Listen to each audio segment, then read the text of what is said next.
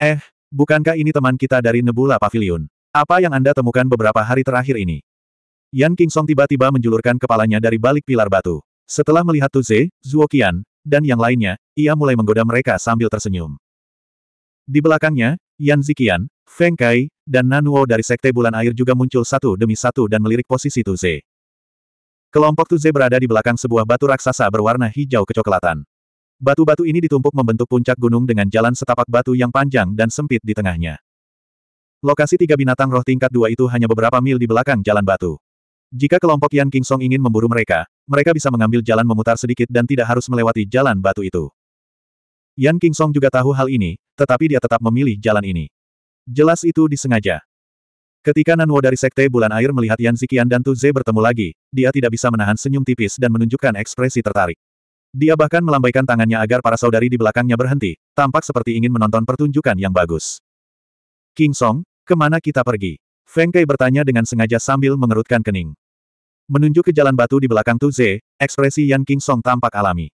Itu tepat di belakang mereka. Minggir. Wajah Yan Ziqian tampak dingin saat ia mencabut pedang Ice Drake dari sarungnya. Saat bila pedang berwarna putih keperakan itu muncul, aura dingin langsung menyebar.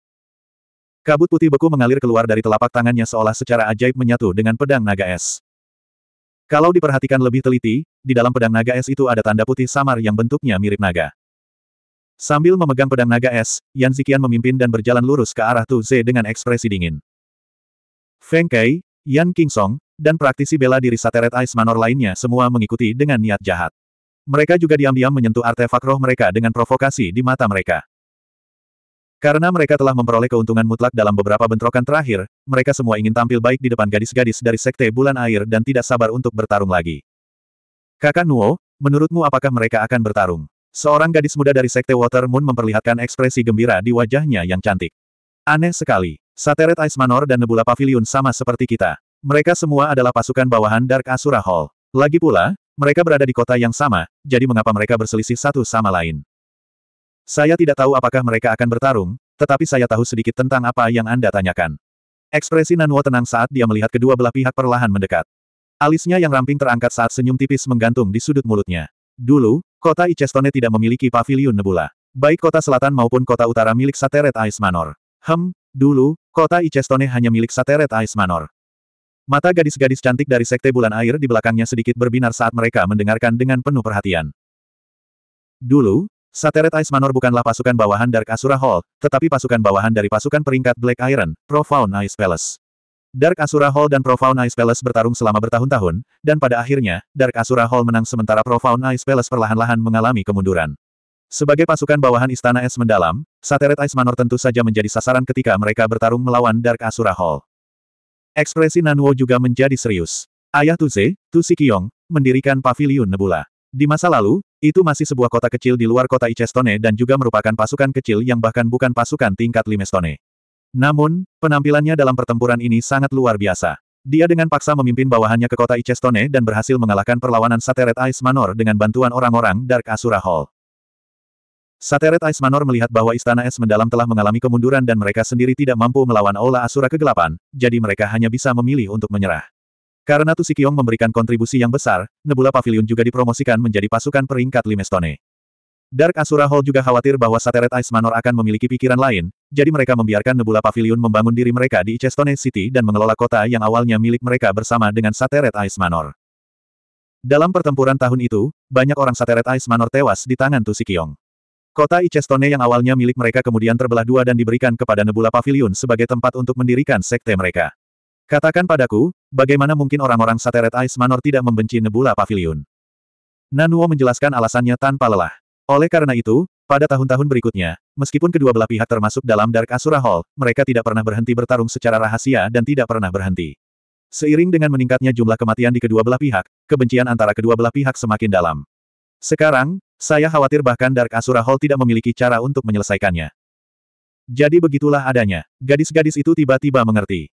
Lagi pula itu tidak ada hubungannya dengan kita. Nanuo tertawa santai. Kita hanya perlu menonton pertunjukannya dan biarkan mereka bertarung dan membunuh sesuka hati mereka.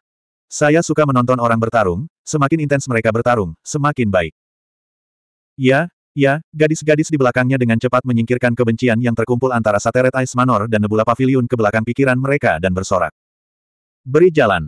Yan Zikian memegang pedang naga es dan berhenti di depan Tu Ze dengan kabut putih dingin di sekujur tubuhnya. Dia berkata dengan wajah dingin. Aura dingin dan menyeramkan menyebar dari pedang naga es. Tanda berbentuk naga di dalam pedang itu berangsur-angsur menjadi jelas, seolah-olah akan melompat keluar dari pedang itu. Tu Ze merasa luka di dadanya tampak sedikit sakit lagi. Dia menggertakkan giginya, ekspresinya garang, dan terus-menerus menarik napas dalam-dalam untuk menenangkan dirinya. Dia tiba-tiba menutup matanya, tidak melihat ekspresi mengejek di wajah Yan Zikian, dan berkata dengan suara rendah, ayo pergi. Dia mengambil langkah terlebih dahulu dan meninggalkan jalan batu di belakangnya. Ayo pergi. Zuo Qian menundukkan kepalanya dan menggunakan tangannya untuk menarik ujung pakaian Han Feng, menariknya dengan paksa. Mata Han Feng merah padam, dan seluruh tubuhnya gemetar. Ia bagaikan seekor binatang buas yang menghadapi situasi putus asa, seakan-akan ia akan meledak di saat berikutnya. Kalau saja Zuoqian tidak menariknya dengan kuat dan terus berbisik agar dia tenang, Han Feng yang tampan di luar itu mungkin sudah menyerangnya dengan marah. Kang Zi, Chu Peng, dan yang lainnya juga menanggung penghinaan itu. Wajah mereka semua jelek saat mereka menundukkan kepala dan mengikuti Tu Ze dan Zuo Qian pergi. Mereka menyerahkan buah yang mereka temukan pertama kali. Betapa mengecewakannya. Apakah ini benar-benar Tu Ze dan Suo Qian? Mereka tidak seperti ini sebelumnya. Pengecut sekali. Petik 2. Petik 2.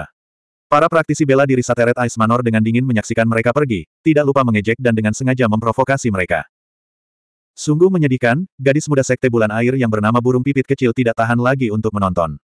Dia menggelengkan kepalanya dan mendesah, alam Tu Ze sama dengan Yan Zikian.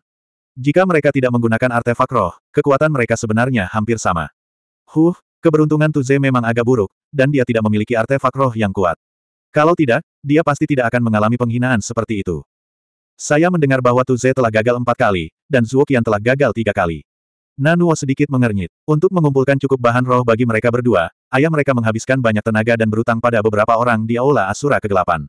Mereka sungguh tidak beruntung karena telah gagal berkali-kali. Nampaknya mereka benar-benar bernasib buruk. Jika berbicara tentang keberuntungan, suster Nanuo tetap yang terbaik. Dia berhasil pada percobaan pertamanya, kata seorang gadis muda dengan kagum. Nanuo mengangkat alisnya dan mengeluarkan penggaris giok putih dari lengan bajunya. Dia berkata dengan bangga, kakakmu Nanuo adalah orang yang benar-benar diberkati oleh surga. Guru besar Lu tidak hanya berhasil menempa penggaris tanpa fase milikku pada percobaan pertamanya, dia bahkan mengatakan bahwa itu adalah hasil karyanya yang paling membanggakan. Terkadang, keberuntungan juga merupakan bagian dari kekuatan. Tangan Giok Nanuo dengan lembut menggoyangkan penguasa tanpa fase.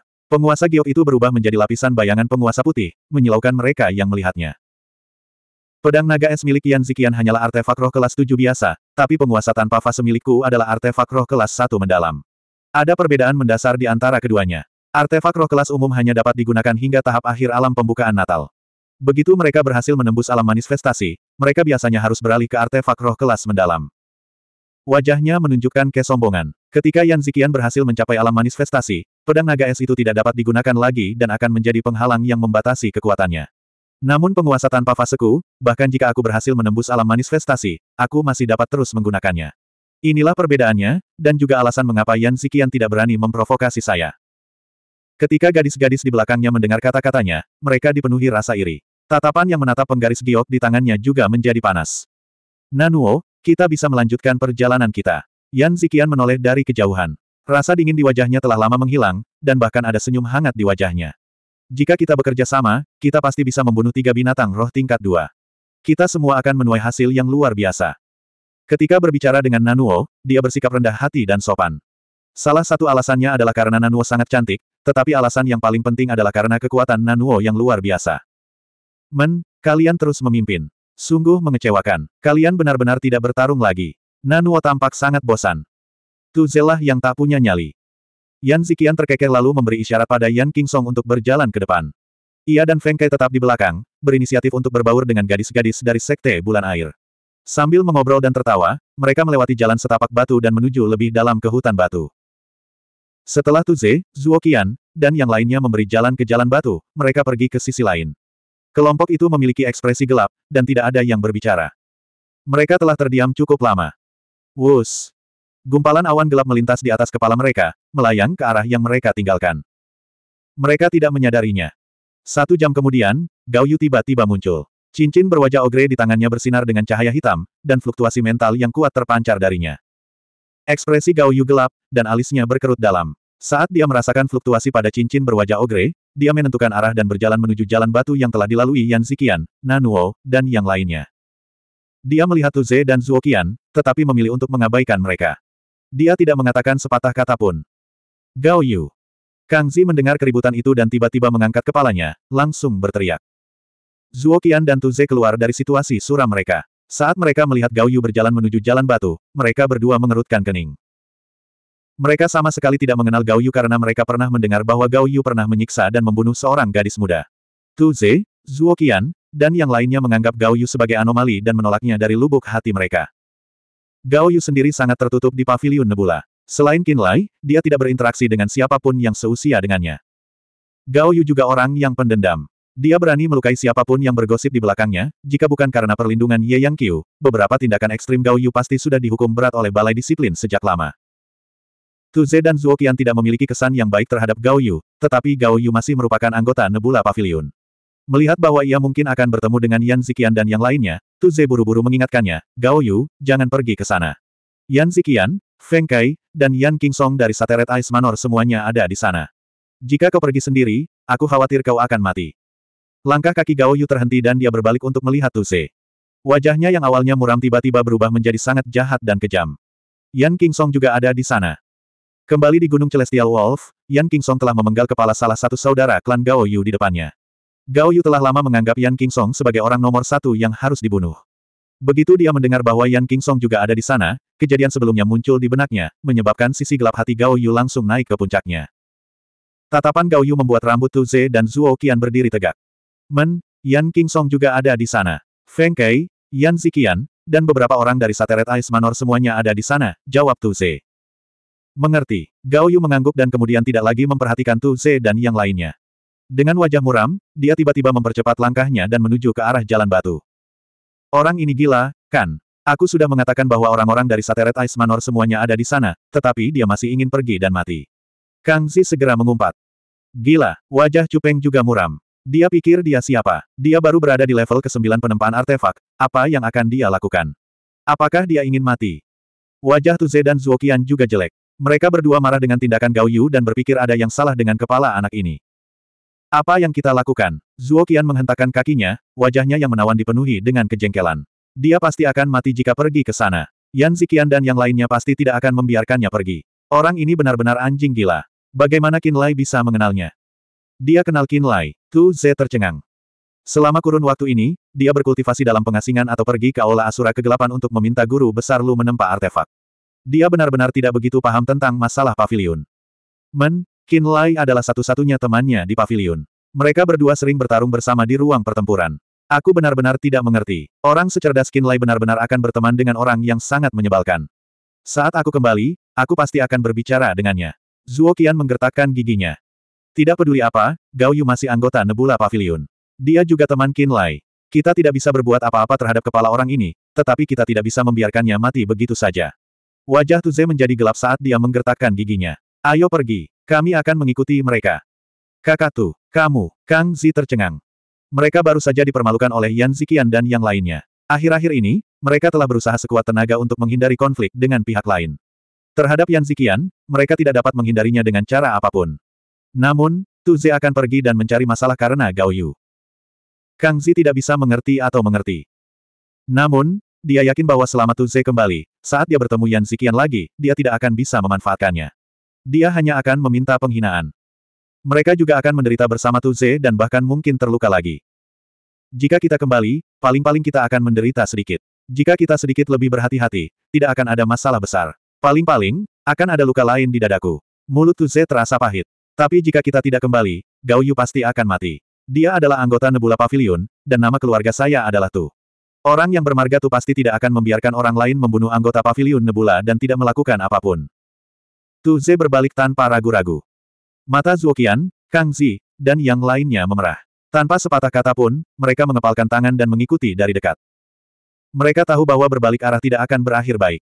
Mereka tahu bahwa mereka akan menderita kerugian, mereka tahu bahwa mereka akan dipermalukan. Tetapi mereka tetap berbalik arah. 82. Ada tujuh pilar batu yang menjulang tinggi, dan tanahnya penuh lubang, tampak seperti lembah yang dalam. Ada bebatuan aneh di sekelilingnya, dan ada kotoran dan bulu binatang buas di tanah. Sekilas, orang bisa tahu bahwa sering ada binatang buas di sekitarnya. Matahari menggantung tinggi di langit, dan cahayanya bersinar ke bawah. Beberapa pilar batu di lembah diterangi oleh cahaya, dan ada makhluk roh yang berjongkok di tiga bayangan ini, bersembunyi dari sinar matahari dan beristirahat. Seekor laba-laba api perak, seekor kera berambut emas, dan seekor kala jengking bersisik racun. Mereka semua adalah binatang roh tingkat dua, dan kekuatan mereka sebanding dengan seorang praktisi bela diri alam pembukaan Natal. Ketiga binatang roh itu semuanya memiliki panjang beberapa meter. Di antara mereka, tubuh kala jengking sisik racun bersinar dengan cahaya hijau beracun dan mengeluarkan bau asam. Laba-laba api perak tergeletak di tanah seperti jaring, seolah-olah sedang tidur.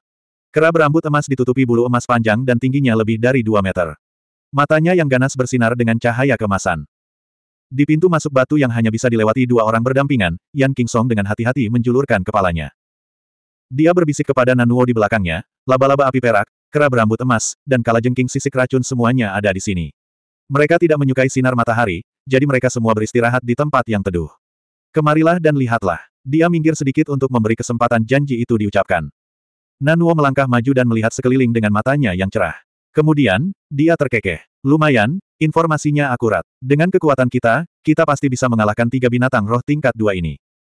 Adapun bagaimana pembagiannya, tergantung kepada pihak mana yang lebih berupaya. Yan Zikian berkata dari belakang. Nanuo mengangguk, lalu mengeluarkan penggaris giok putih dan berjalan keluar tanpa menghindar, menuju ke arah laba-laba api perak. Serahkan laba-laba itu padaku, kau dan saudara perempuanku akan mengurusnya. Sedangkan untuk dua yang tersisa, begitulah pembagiannya. Sementara Yan Zikian dan Feng Kai masih dalam keadaan terkejut, Nanuo melambaikan penguasa non-fase di tangannya, lapisan demi lapisan gambaran penguasa memenuhi langit, dan sikap yang agung dan berat serta mengesankan praktis memenuhi seluruh lembah kecil dalam sekejap. Laba-laba api perak, kera berambut emas, dan kala jengking sisik racun segera merasakan bahaya dan bangkit dari bayang-bayang mereka. Mereka meraung dan menyerbu dengan marah. Tubuh Nanuo tampak anggun saat dia terkikik dan mendarat di depan laba-laba api perak seperti embusan angin. Wus wus wus. Bola-bola api perak mengepul dari tubuh laba-laba itu bagaikan gelembung-gelembung. Api keperakan terang itu tidak panas sama sekali, sebaliknya, dingin, menyebabkan udara mengeluarkan suara beku yang aneh. Laba-laba bodoh, kau pikir kau bisa menyakitiku seperti itu. Nanuo memasang ekspresi santai di wajahnya. Tiba-tiba ia melemparkan penguasa tak berwujud, dan langit dipenuhi bayangan penguasa yang membawa kekuatan besar. Bayangan itu menghujani laba-laba api perak, menyebabkannya mengeluarkan suara memekik yang memekakkan telinga. Seperti yang diharapkan dari artefak roh kelas mendalam, itu memang kuat. Di belakang mereka, Yan Kingsong melirik mereka dan berkata dengan iri. Feng Kai, kau tangani kala jengking bersisik racun bersama King Song dan yang lainnya. Aku akan membantu teman-teman kita dari Sekte Bulan Air menghadapi kera berambut emas. Yan Zikian berteriak dan bergegas menuju kera berambut emas bersama gadis-gadis dari Sekte Bulan Air. Feng Kai dan Yan Zikian sama-sama berada di tahap awal alam pembukaan Natal, jadi mereka tidak akan terlalu dirugikan saat berhadapan dengan binatang roh tingkat 2. Ditambah dengan bantuan beberapa rekan alam pemurnian, tidak akan terlalu sulit bagi mereka untuk membunuh binatang roh tingkat dua dengan artefak roh dan seni kultivasi mereka. Kelompok itu telah lama aktif di hutan batu etiril ini, jadi mereka secara bertahap menjadi lebih berpengalaman dalam menghadapi binatang buas. Begitu mereka mulai bergerak, mereka yang memiliki alam tertinggi akan menjadi yang menanggung beban daya tembak binatang buas itu. Mereka yang memiliki alam lebih rendah akan menyebar dan menyerang dari samping dengan artefak roh, artefak roh, dan tombak. Dengan cara ini, makhluk roh akan diserang dari kedua sisi. Mereka dapat menyerang dari depan tetapi tidak dari belakang, dan mereka dapat menyerang dari kiri tetapi tidak dari kanan. Mereka sering kali akan dipenuhi luka dan perlahan-lahan kelelahan hingga mereka mati. Kali ini, tidak ada pengecualian. Di bawah pimpinan Nuo Fengkai, Yan Zikian, dan pemuda-pemuda hebat lainnya, pasukan gabungan yang terdiri dari lebih dari 20 junior tidak menghabiskan banyak waktu dan dengan paksa membombardir tiga binatang roh tingkat dua hingga mereka dipenuhi luka dan memar. Pada akhirnya, mereka tidak dapat bertahan lebih lama lagi dan jatuh ke tanah. Aku membunuh laba-laba api perak sendirian, jadi itu pasti milik kita. Kera berambut emas, kau sudah melakukan bagianmu, jadi kami hanya menginginkan kulit kera dan inti binatang buas. Kau boleh mengambil sisanya. Kala jengking bersisik racun adalah milikmu. Apa tidak apa-apa.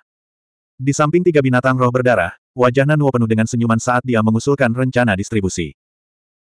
Dari laba-laba api perak, Kera berambut emas, dan kala jengking bersisik beracun, laba-laba api perak adalah yang paling berharga, kera berambut emas adalah yang kedua, dan kala jengking bersisik beracun adalah yang terburuk. Dia pertama-tama mengklaim laba-laba api perak atas namanya, dan kemudian mengambil inti binatang dan kulit kera-kera berambut emas. Dapat dikatakan bahwa dia telah memanfaatkan situasi tersebut. Dia tersenyum pada Yan Zikian dan tiba-tiba tersenyum lembut. Dia berkata dengan nada genit, rumah es hancur milikmu kaya dan sombong, jadi kamu pasti tidak akan peduli dengan kami para wanita, kan? Wajah Yan Zikian dan yang lainnya berkedut, dan mereka mengangguk tak berdaya, menyetujui metode distribusi ini. Kalau begitu, sudah beres. Nanuo melambaikan tangannya, kalian yang bertugas membagi bahan-bahan. Setelah kalian memilah bahan-bahannya, berikan saja bahan-bahan yang menjadi milik kami. Dia menoleh dan tersenyum bangga pada saudara perempuannya di belakangnya. Gadis-gadis dari Sekte Bulan Air juga terkikik. Aku tahu aku tidak akan bisa mendapatkan apa pun darimu. Hehe, sayang sekali aku tidak berencana melakukan itu sejak awal. Yan Kingsong menyeka darah binatang roh di tubuhnya dan berkata dengan dingin, ketika bahan-bahan roh dibagikan, bagaimana kalau kita minum untuk merayakannya? Kalian tidak akan menolakku, kan, adik-adik? Ketika dia mengatakan hal ini, Yan Zikian, Feng Kai, dan para praktisi bela diri dari Sateret Ice Manor semuanya menatap penuh harap ke arah gadis-gadis dari Sekte Bulan Air. Inilah tujuan mereka yang sebenarnya. Tidak masalah, kami ingin mengenal orang yang menyenangkan dipandang seperti Anda. Nanuo setuju tanpa ragu. Mata Yan Zikian, Feng Kai, dan yang lainnya berbinar dan ekspresi mereka menjadi bersemangat. Saudara-saudara, selesaikan pekerjaan kalian. Kita akan minum anggur nanti dan mengobrol dengan adik-adik perempuan kita tentang kehidupan dan hal-hal lainnya. Yan Kingsong berkata dengan riang.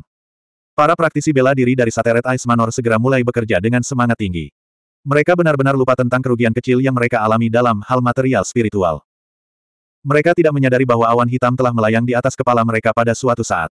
Tidak ada awan di bawah terik matahari, jadi awan hitam yang tiba-tiba muncul itu sangat aneh. Gumpalan asap berwarna abu-abu kecoklatan yang tidak dapat dilihat oleh orang normal melayang keluar dari mayat ketiga makhluk roh itu. Seolah-olah mereka ditarik oleh awan hitam, mereka perlahan melayang ke atas dan diam-diam memasukinya. Awan hitam yang semula berukuran sebesar batu kilangan, tampak jelas membesar setelah beberapa waktu. Akan tetapi, Orang-orang dari Sateret Ice Manor hanya berpikir untuk mengenal gadis-gadis dari Water Moon Sect, jadi mereka tidak memperhatikan langit dan tidak menyadari kelainan itu. Setelah beberapa saat, tidak ada lagi asap berwarna abu-abu kecoklatan yang keluar dari tubuh ketiga makhluk roh itu. Awan hitam itu juga semakin membesar. Pada saat ini, Gao Yu yang mengikuti awan hitam sampai ke sini, akhirnya tiba. Saat dia muncul, orang-orang dari Water Moon Sect dan Sateret Ice Manor segera memperhatikannya dan menatapnya. Gao Yu, hehe, kebetulan sekali.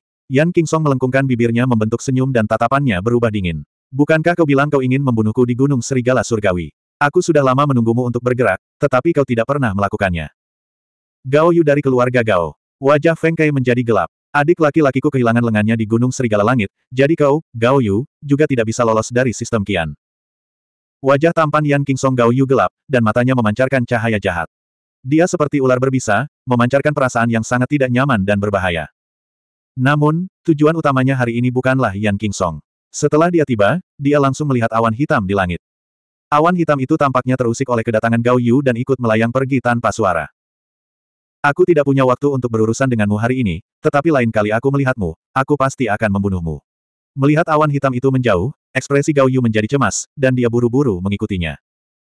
Hehe, apakah menurutmu aku akan memberimu kesempatan lagi? Yan Kingsong mengerutkan kening. Kudengar kau telah menembus level ke-9 dari alam pemurnian, dan alammu sama dengan milikku.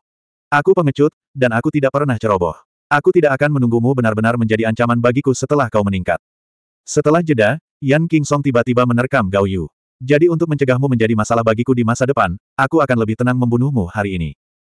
Di Sateret Ice Manor, Yan Kingsong selalu dikenal karena kekejamannya. Dia sangat berhati-hati, dan tidak akan memberikan terlalu banyak kesempatan bagi musuh-musuhnya. Sejak Gao Yu mengatakan ingin membunuhnya, dia diam-diam memperhatikan Gao Yu. Ketika dia mengetahui bahwa Gao Yu telah memasuki pavilion nebula dan menerobos ke tingkat ke-9 alam pemurnian, dia merasa tertekan, dan dia memperlakukan Gao Yu sebagai target yang dapat dengan cepat dia singkirkan. Sekarang setelah Gao Yu tiba-tiba datang kepadanya, bagaimana dia bisa membiarkan Gao Yu pergi begitu saja? Dalam sekejap, Yan Kingsong bergegas mendekat dan menghalangi di depan Gao Yu, mengambil inisiatif untuk menyerang. Kau sedang mencari kematian. Gao Yu sangat ingin melihat awan hitam itu, dan ketika dia melihat Yan Kingsong menghancurkan rencananya, niat membunuhnya langsung menyala, dan dia langsung bertarung dengannya. Sial, mereka benar-benar berkelahi. Gao Yu si gila itu, tidakkah kau lihat ada begitu banyak orang di sini? Rombongan Tuze dan Zuo Qian bergegas mendekat, dan begitu mereka memasuki lembah, mereka melihat Gao Yu dan Yan Kingsong sudah mulai bertarung. Si gendut kecil Kang Zi menghentakkan kakinya dan mengumpat keras, matanya menyemburkan api saat dia melotot ke arah Gao Yu. Kakatu, ini adalah tiga binatang roh yang kami temukan. Lihat, kata Cupeng dengan ekspresi dingin saat dia melihat mayat-mayat binatang roh di tanah. Aku bertanya-tanya mengapa kalian menghindari kami untuk sementara waktu sebelumnya. Jadi itu karena kalian ingin memanfaatkan kami. Tu Ze, kau benar-benar orang yang baik. Yan Zikian tertegun sejenak, lalu ia tiba-tiba menyadari sesuatu. Tatapan matanya tiba-tiba berubah dingin, dan ia berkata dengan dingin, apakah kau benar-benar berpikir bahwa setelah kami membunuh binatang buas itu, energi roh kami akan sangat terkuras, dan kami akan dapat memanfaatkanmu lagi. Begitu dia selesai bicara, dia mengangkat pedang Ice Drake dan menyerbu sambil berteriak, orang-orang ini ada di sini untuk mengambil keuntungan dari kita. Feng Kai dan orang-orang dari Sateret Ice Manor tidak menyangka bahwa Tu Ze dan yang lainnya datang untuk melindungi Gao Yu. Mereka semua mengira bahwa Gao Yu awalnya bersama mereka, dan bahwa ia muncul begitu saja setelah mereka membunuh binatang buas itu. Jelas bahwa ia memanfaatkan fakta bahwa mereka telah menghabiskan energi mereka untuk mencuri rampasan perang. Dalam sekejap, api peperangan antara kedua belah pihak berkobar lagi dan pertempuran sengit langsung terjadi. Kedua belah pihak telah bertempur beberapa kali baru-baru ini, dan mereka saling mengenal. Mereka mengetahui dengan jelas lawan mereka, dan mereka segera menemukan target mereka. Yan Ziqian melawan Tu Ze, Feng Kai melawan Zuo Qian, dan Kang Zi melawan Yan Qingsong. Namun karena Gao Yu telah mengincar Yan Qingsong dengan gila-gilaan, ia beralih ke orang lain. Orang-orang lainnya memiliki lawan mereka sendiri, sehingga mereka mulai saling membunuh di dalam lembah. Kakak Tunwo, ini. Sebelum gadis-gadis dari Sekte Water Moon sempat bereaksi, mereka tiba-tiba menyadari bahwa lembah itu telah menjadi kacau. Orang-orang dari Sateret Ice Manor dan Nebula Pavilion saling bertarung, dan mereka telah menjadi penonton. Apa hubungannya dengan kita? Nanuo juga tertegun sejenak, lalu dia tertawa. Kita hanya perlu menonton acaranya. Gadis-gadis dari Sekte Water Moon juga merasa rileks saat mendengarnya mengatakan hal ini. Mereka tertawa cekikikan dan berceloteh dengan gembira, menunjuk ke arah petarung dari kedua belah pihak dan memberikan komentar. Huh, pedang panjang di tangan Tuze telah tergores beberapa kali oleh pedang naga es dalam pertempuran sebelumnya. Bagaimana dia bisa bertarung seperti ini? Melihat situasi saat ini, Tu Ze masih akan kalah. Serius, Yan Ziqian itu sepenuhnya mengandalkan keunggulan artefak rohnya. Artefak roh milik Feng Kai dan Zuo Qian berada pada tingkatan yang hampir sama, tetapi Feng Kai sedikit lebih tua, dan dia telah mencapai tahap awal alam pembukaan Natal sejak lama. Zuo Qian baru saja menerobos ke alam pembukaan Natal, dan dia bahkan tidak familiar dengan metode bertarung alam pembukaan Natal. Dia tidak memiliki keunggulan apa pun saat bertarung melawan Feng Kai. Hem, dia mungkin akan ditekan oleh Feng Kai seperti sebelumnya. Tidak ada yang bisa dilakukan, masih ada sedikit celah di antara kedua belah pihak. Seperti yang diharapkan, Tuze dan Zuo kian terluka. Eh, orang bernama Gao Yu itu tampaknya cukup kuat. Yan Song itu cukup kuat, tetapi dia tampaknya tidak memiliki keunggulan, bukan? Aku pernah mendengar tentang Gao Yu sebelumnya. Ku dengar dia agak mesum, dan dia pernah menyiksa dan membunuh seorang gadis. Orang macam begini memang menjijikkan. Hem, dia tidak terlihat seperti orang baik. Jika Yan Song kalah sedikit saja, aku mungkin akan membantunya. Orang mesum seperti itu, lebih baik dia mati saja. Gadis-gadis dari Sekte Bulan Air sama seperti Nanuo, tidak ikut campur dalam pertarungan. Mereka menyaksikan pertarungan kedua belah pihak sambil berdiskusi dengan penuh semangat. Tu Ze dan Zuo Qian tidak pernah menjadi tandingan Yan Ziqian dalam pertempuran sebelumnya, dan kali ini, mereka juga tidak memiliki keunggulan. Pedang panjang berwarna merah tua di tangan Tuze memiliki banyak torehan di bagian tepinya, dan dalam pertarungan dengan pedang naga es, dia benar-benar dalam posisi yang tidak menguntungkan. Pada saat ini, tiga luka berdarah muncul di dada Tuze. Setelah darah diresapi oleh energi dingin, darah itu bahkan berubah menjadi kristal darah.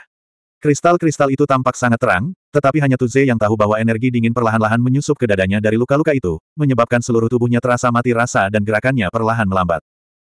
Jika artefak rohku dipalsukan, bagaimana mungkin aku bisa menderita kerugian seperti itu? Mungkinkah surga sengaja menekanku sehingga aku lebih rendah dari Yan Ziqian? Ekspresi Tuze buas dan matanya merah saat dia beradu tinju dengan Yan Ziqian, tetapi dalam hatinya dia berteriak enggan. Dasar pengkhianat, kalau bukan karena guru besar lu melumpuhkan cambuk tulang nagaku lagi, aku pasti sudah lama menghajar wajahmu sampai penuh dengan bekas cambukan. Zuo Qian menggertakkan giginya dan mengumpat dengan ekspresi galak. Dua luka baru muncul di lengan kanannya yang seputih salju. Luka-luka itu mengejutkan mata, dan orang bisa melihat samar-samar tulangnya. Suara mendesing suara mendesing. Pada saat ini, suara binatang roh bergerak seperti angin datang dari jauh. Dengan sangat cepat, dua binatang neter mendalam yang pada tiba-tiba muncul. Mereka sudah tiba. Liang Zong mengerutkan kening, melirik ke lembah, dan berkata dengan heran, sebenarnya ada pertikaian internal. Cukup intens. Kakak Tu, kakak Kian. Binatang neter yang mendalam berhenti, dan Qin Lai juga melihat dengan jelas pemandangan di dalam lembah. Matanya langsung memerah, dan seperti binatang buas yang marah dan ganas, dia tiba-tiba menjadi histeris. Wajahnya yang halus dan tampan tiba-tiba dipenuhi rasa jengkel dan kegilaan, dan tubuhnya pun mengeluarkan getaran aneh. Dia menyerbu tanpa peduli apa pun. 83. Xie Jingxuan dan Liang Zong duduk di atas binatang neter mendalam, alis mereka sedikit berkerut saat mereka dengan dingin menyaksikan pertempuran di dalam lembah. Darah di dada Tuze bagaikan berlian merah. Setelah butiran darah membeku, warnanya benar-benar mempesona. Berbeda dengan wajah Tuze yang sedikit pucat, warnanya membuat orang merasa semakin aneh. Pedang naga es di tangan Yan Zikian, garis es perak cerah itu bergoyang dan benar-benar memancarkan aura naga yang lemah.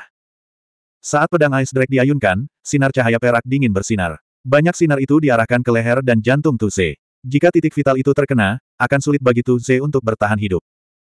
Jelas bahwa Yan Zikian sama sekali tidak menahan diri. Dia berniat membunuh Tuze saat itu juga. Feng Kai juga sama. Dia tampak seperti ingin membunuh Zuoqian, setiap serangan akan merenggut nyawanya. Di atas binatang neter mendalam, Xie Jingxuan, yang berpakaian putih, sedikit mengernyit. Matanya yang jernih dan cerah memperlihatkan sedikit rasa dingin. Mungkinkah pertikaian internal antara pasukan bawahan telah mencapai tingkat yang begitu intens? Dia tahu beberapa kisah di balik Dawson's Asura Hall. Demi menjaga vitalitas pasukan bawahan, Dark Asura Hall memperbolehkan pasukan bawahan bersaing satu sama lain. Hanya dengan bertarung mereka dapat beradaptasi dengan lingkungan yang kejam, menghasilkan lebih banyak praktisi bela diri yang unggul, dan menyediakan lebih banyak darah segar dengan kekuatan tempur bagi Dark Asura Hall. Akan tetapi, apakah pertempuran antara pasukan bawahan benar-benar sesuatu yang ingin dilihat oleh Dark Asura Hall? Nona, tidak semua pertempuran antara pasukan bawahan sesengit ini. Sebagian besar pasukan bawahan masih dapat dikendalikan dan tidak akan bertempur sampai mati. Liang Zong melihat ketidaksenangan dalam ekspresinya dan buru-buru menjelaskan, Sateret Ice Manor dan Nebula Pavilion agak istimewa. Dia menjelaskan alasannya. Mata Xie Jingxuan menunjukkan keterkejutan. Jika memang begitu, maka Sateret Ice Manor dan Nebula Pavilion selalu memiliki konflik yang sengit. Lalu mengapa Aula tidak ikut campur untuk menyelesaikannya?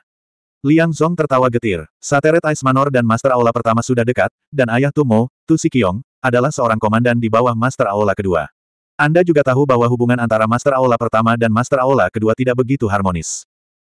Jadi itu sebabnya, Xie Jingxuan terkejut, lalu mendesah pelan. Sayang sekali, di mana pun Anda berada, akan selalu ada konflik. Nona, haruskah kita campur tangan? Liang Zong melihat pertempuran di lembah dan membungkuk sedikit untuk meminta instruksi. Coba lihat dulu. Oke. Kakak Tu, kakak Kian. Wajah Qin Lai dipenuhi amarah dan kegilaan. Petir biru melingkari lengannya, dan dia memegang patung kayu di tangannya sambil meraung dan menyerbu. Qin Lai. Qin Lai ada di sini. Apa yang kamu lakukan di sini? Ketika orang-orang di medan pertempuran melihatnya tiba-tiba muncul, mereka sedikit terkejut dan ekspresi mereka bervariasi. Yan Ziqian, yang unggul dalam segala aspek, mengalami perubahan ekspresi, dan dia tidak bisa menahan diri untuk tidak mengerutkan kening. Dia ingat dengan jelas bahwa dua tahun lalu, di pegunungan Arktik, Kinlay telah memanggil langit yang penuh guntur dan kilat, memaksanya ke dalam kondisi menyedihkan dan memaksanya untuk bersembunyi sementara. Wajah Feng Kai dan Yan Kingsong juga bergetar, ekspresi mereka jelek. Beberapa bulan yang lalu, di kamar Street dan jembatan batu di sebelah selatan kota, sambaran petir yang tebal itu jatuh dari langit dan melukai mereka dengan parah. Mereka baru pulih setengah bulan yang lalu. Kenangan mereka tentang Kinlay masih segar dalam ingatan mereka, dan mereka membencinya sampai ke tulang. Di sisi lain, Tu Ze, Zuo Qian, dan yang lainnya tampak terkejut, dan semangat juang mereka tampak meningkat. Kedatangan Qin Lai tampaknya memberi mereka semacam harapan. Qin Lai, pergilah bantu Zuo Qian, bantu dia menghadapi Feng Kai. Aku masih bisa menghadapi mereka untuk saat ini, teriak Tu Ze. Jangan dengarkan dia, pergi bantu Tu Ze, dia tidak akan bisa bertahan lebih lama lagi. Di bawah sinar pedang Feng Kai, Zuo Qian, yang terus-menerus menghindar, tiba-tiba berteriak. Puff! Saat dia berbicara, sinar pedang Feng Kai menambahkan luka lain di lengannya, dan darah menyembur keluar. Setelah ragu sejenak, Qin Lai segera menemukan sasarannya, menggertakkan giginya, dan menyerbu. Feng Kai, aku akan mengulitimu hidup-hidup. Jaring petir di dalam patung kayu itu tiba-tiba menyilaukan. Listrik yang menyala-nyala menyilang, dan petir hijau samar merayap seperti ular, disertai gemuruh guntur dan ledakan. Rambut di kepala patung Qin San semuanya menyemburkan listrik. Semuanya melonjak menuju Feng Kai. Feng Kai, yang telah memaksa Zuoqian ke sudut, melihat aliran listrik yang dahsyat melesat ke arahnya, dan ekspresinya berubah. Dia harus mengalihkan perhatiannya untuk mengatasinya, sehingga mengurangi tekanan pada Zuoqian. Eh, siapa bocah nakal yang tiba-tiba muncul ini? Kurasa aku belum pernah mendengar orang seperti itu di Nebula Pavilion. Yan Ziqian, Feng Kai, dan Yan Kingsong tampaknya agak waspada terhadapnya. Apa yang terjadi? Saudari Nanuo, apakah Anda kenal pria bernama Qin Lai ini? Melihat situasi berubah, gadis-gadis dari Sekte Water Moon memusatkan perhatian mereka pada pendatang baru, Qin Lai. Mereka tidak dapat menahan diri untuk tidak berdiskusi di antara mereka sendiri, mencoba mencari tahu latar belakang Qin Lai. Saya tidak mengenalnya. Nanuo bersandar pada pilar batu, ekspresinya normal saat dia menggelengkan kepalanya. Dia tampaknya berasal dari Nebula Pavilion, tetapi aku belum pernah mendengar tentangnya. Dia seharusnya bukan orang yang istimewa, kalau tidak aku pasti pernah mendengar tentangnya. Hem, dilihat dari kultivasinya, dia hanya berada di alam pemurnian. Tidak heran Suster Nanuo tidak tahu. Ya, bagaimana mungkin seorang pria di alam pemurnian dapat memasuki mata Suster Nanuo? Sekelompok gadis itu berceloteh.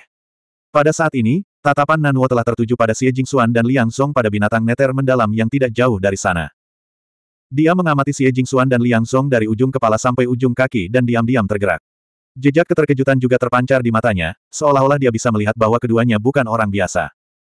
Dia segera mengalihkan pandangannya dan tidak mengatakan apa pun. Namun, wajahnya menunjukkan sedikit keseriusan, dan dia tidak terus tertawa dan berkomentar. Terakhir kali, petir turun dari langit dan menyelamatkan hidupmu. Kali ini, kamu tidak akan seberuntung itu. Feng Kai mengangkat kepalanya dan menatap matahari yang tinggi di langit. Dia sedikit rileks. Kemudian, pedang perak di tangannya bersinar terang, dan hujan serangan lebat jatuh di sekitar Qin Lai dan Zuo Qian.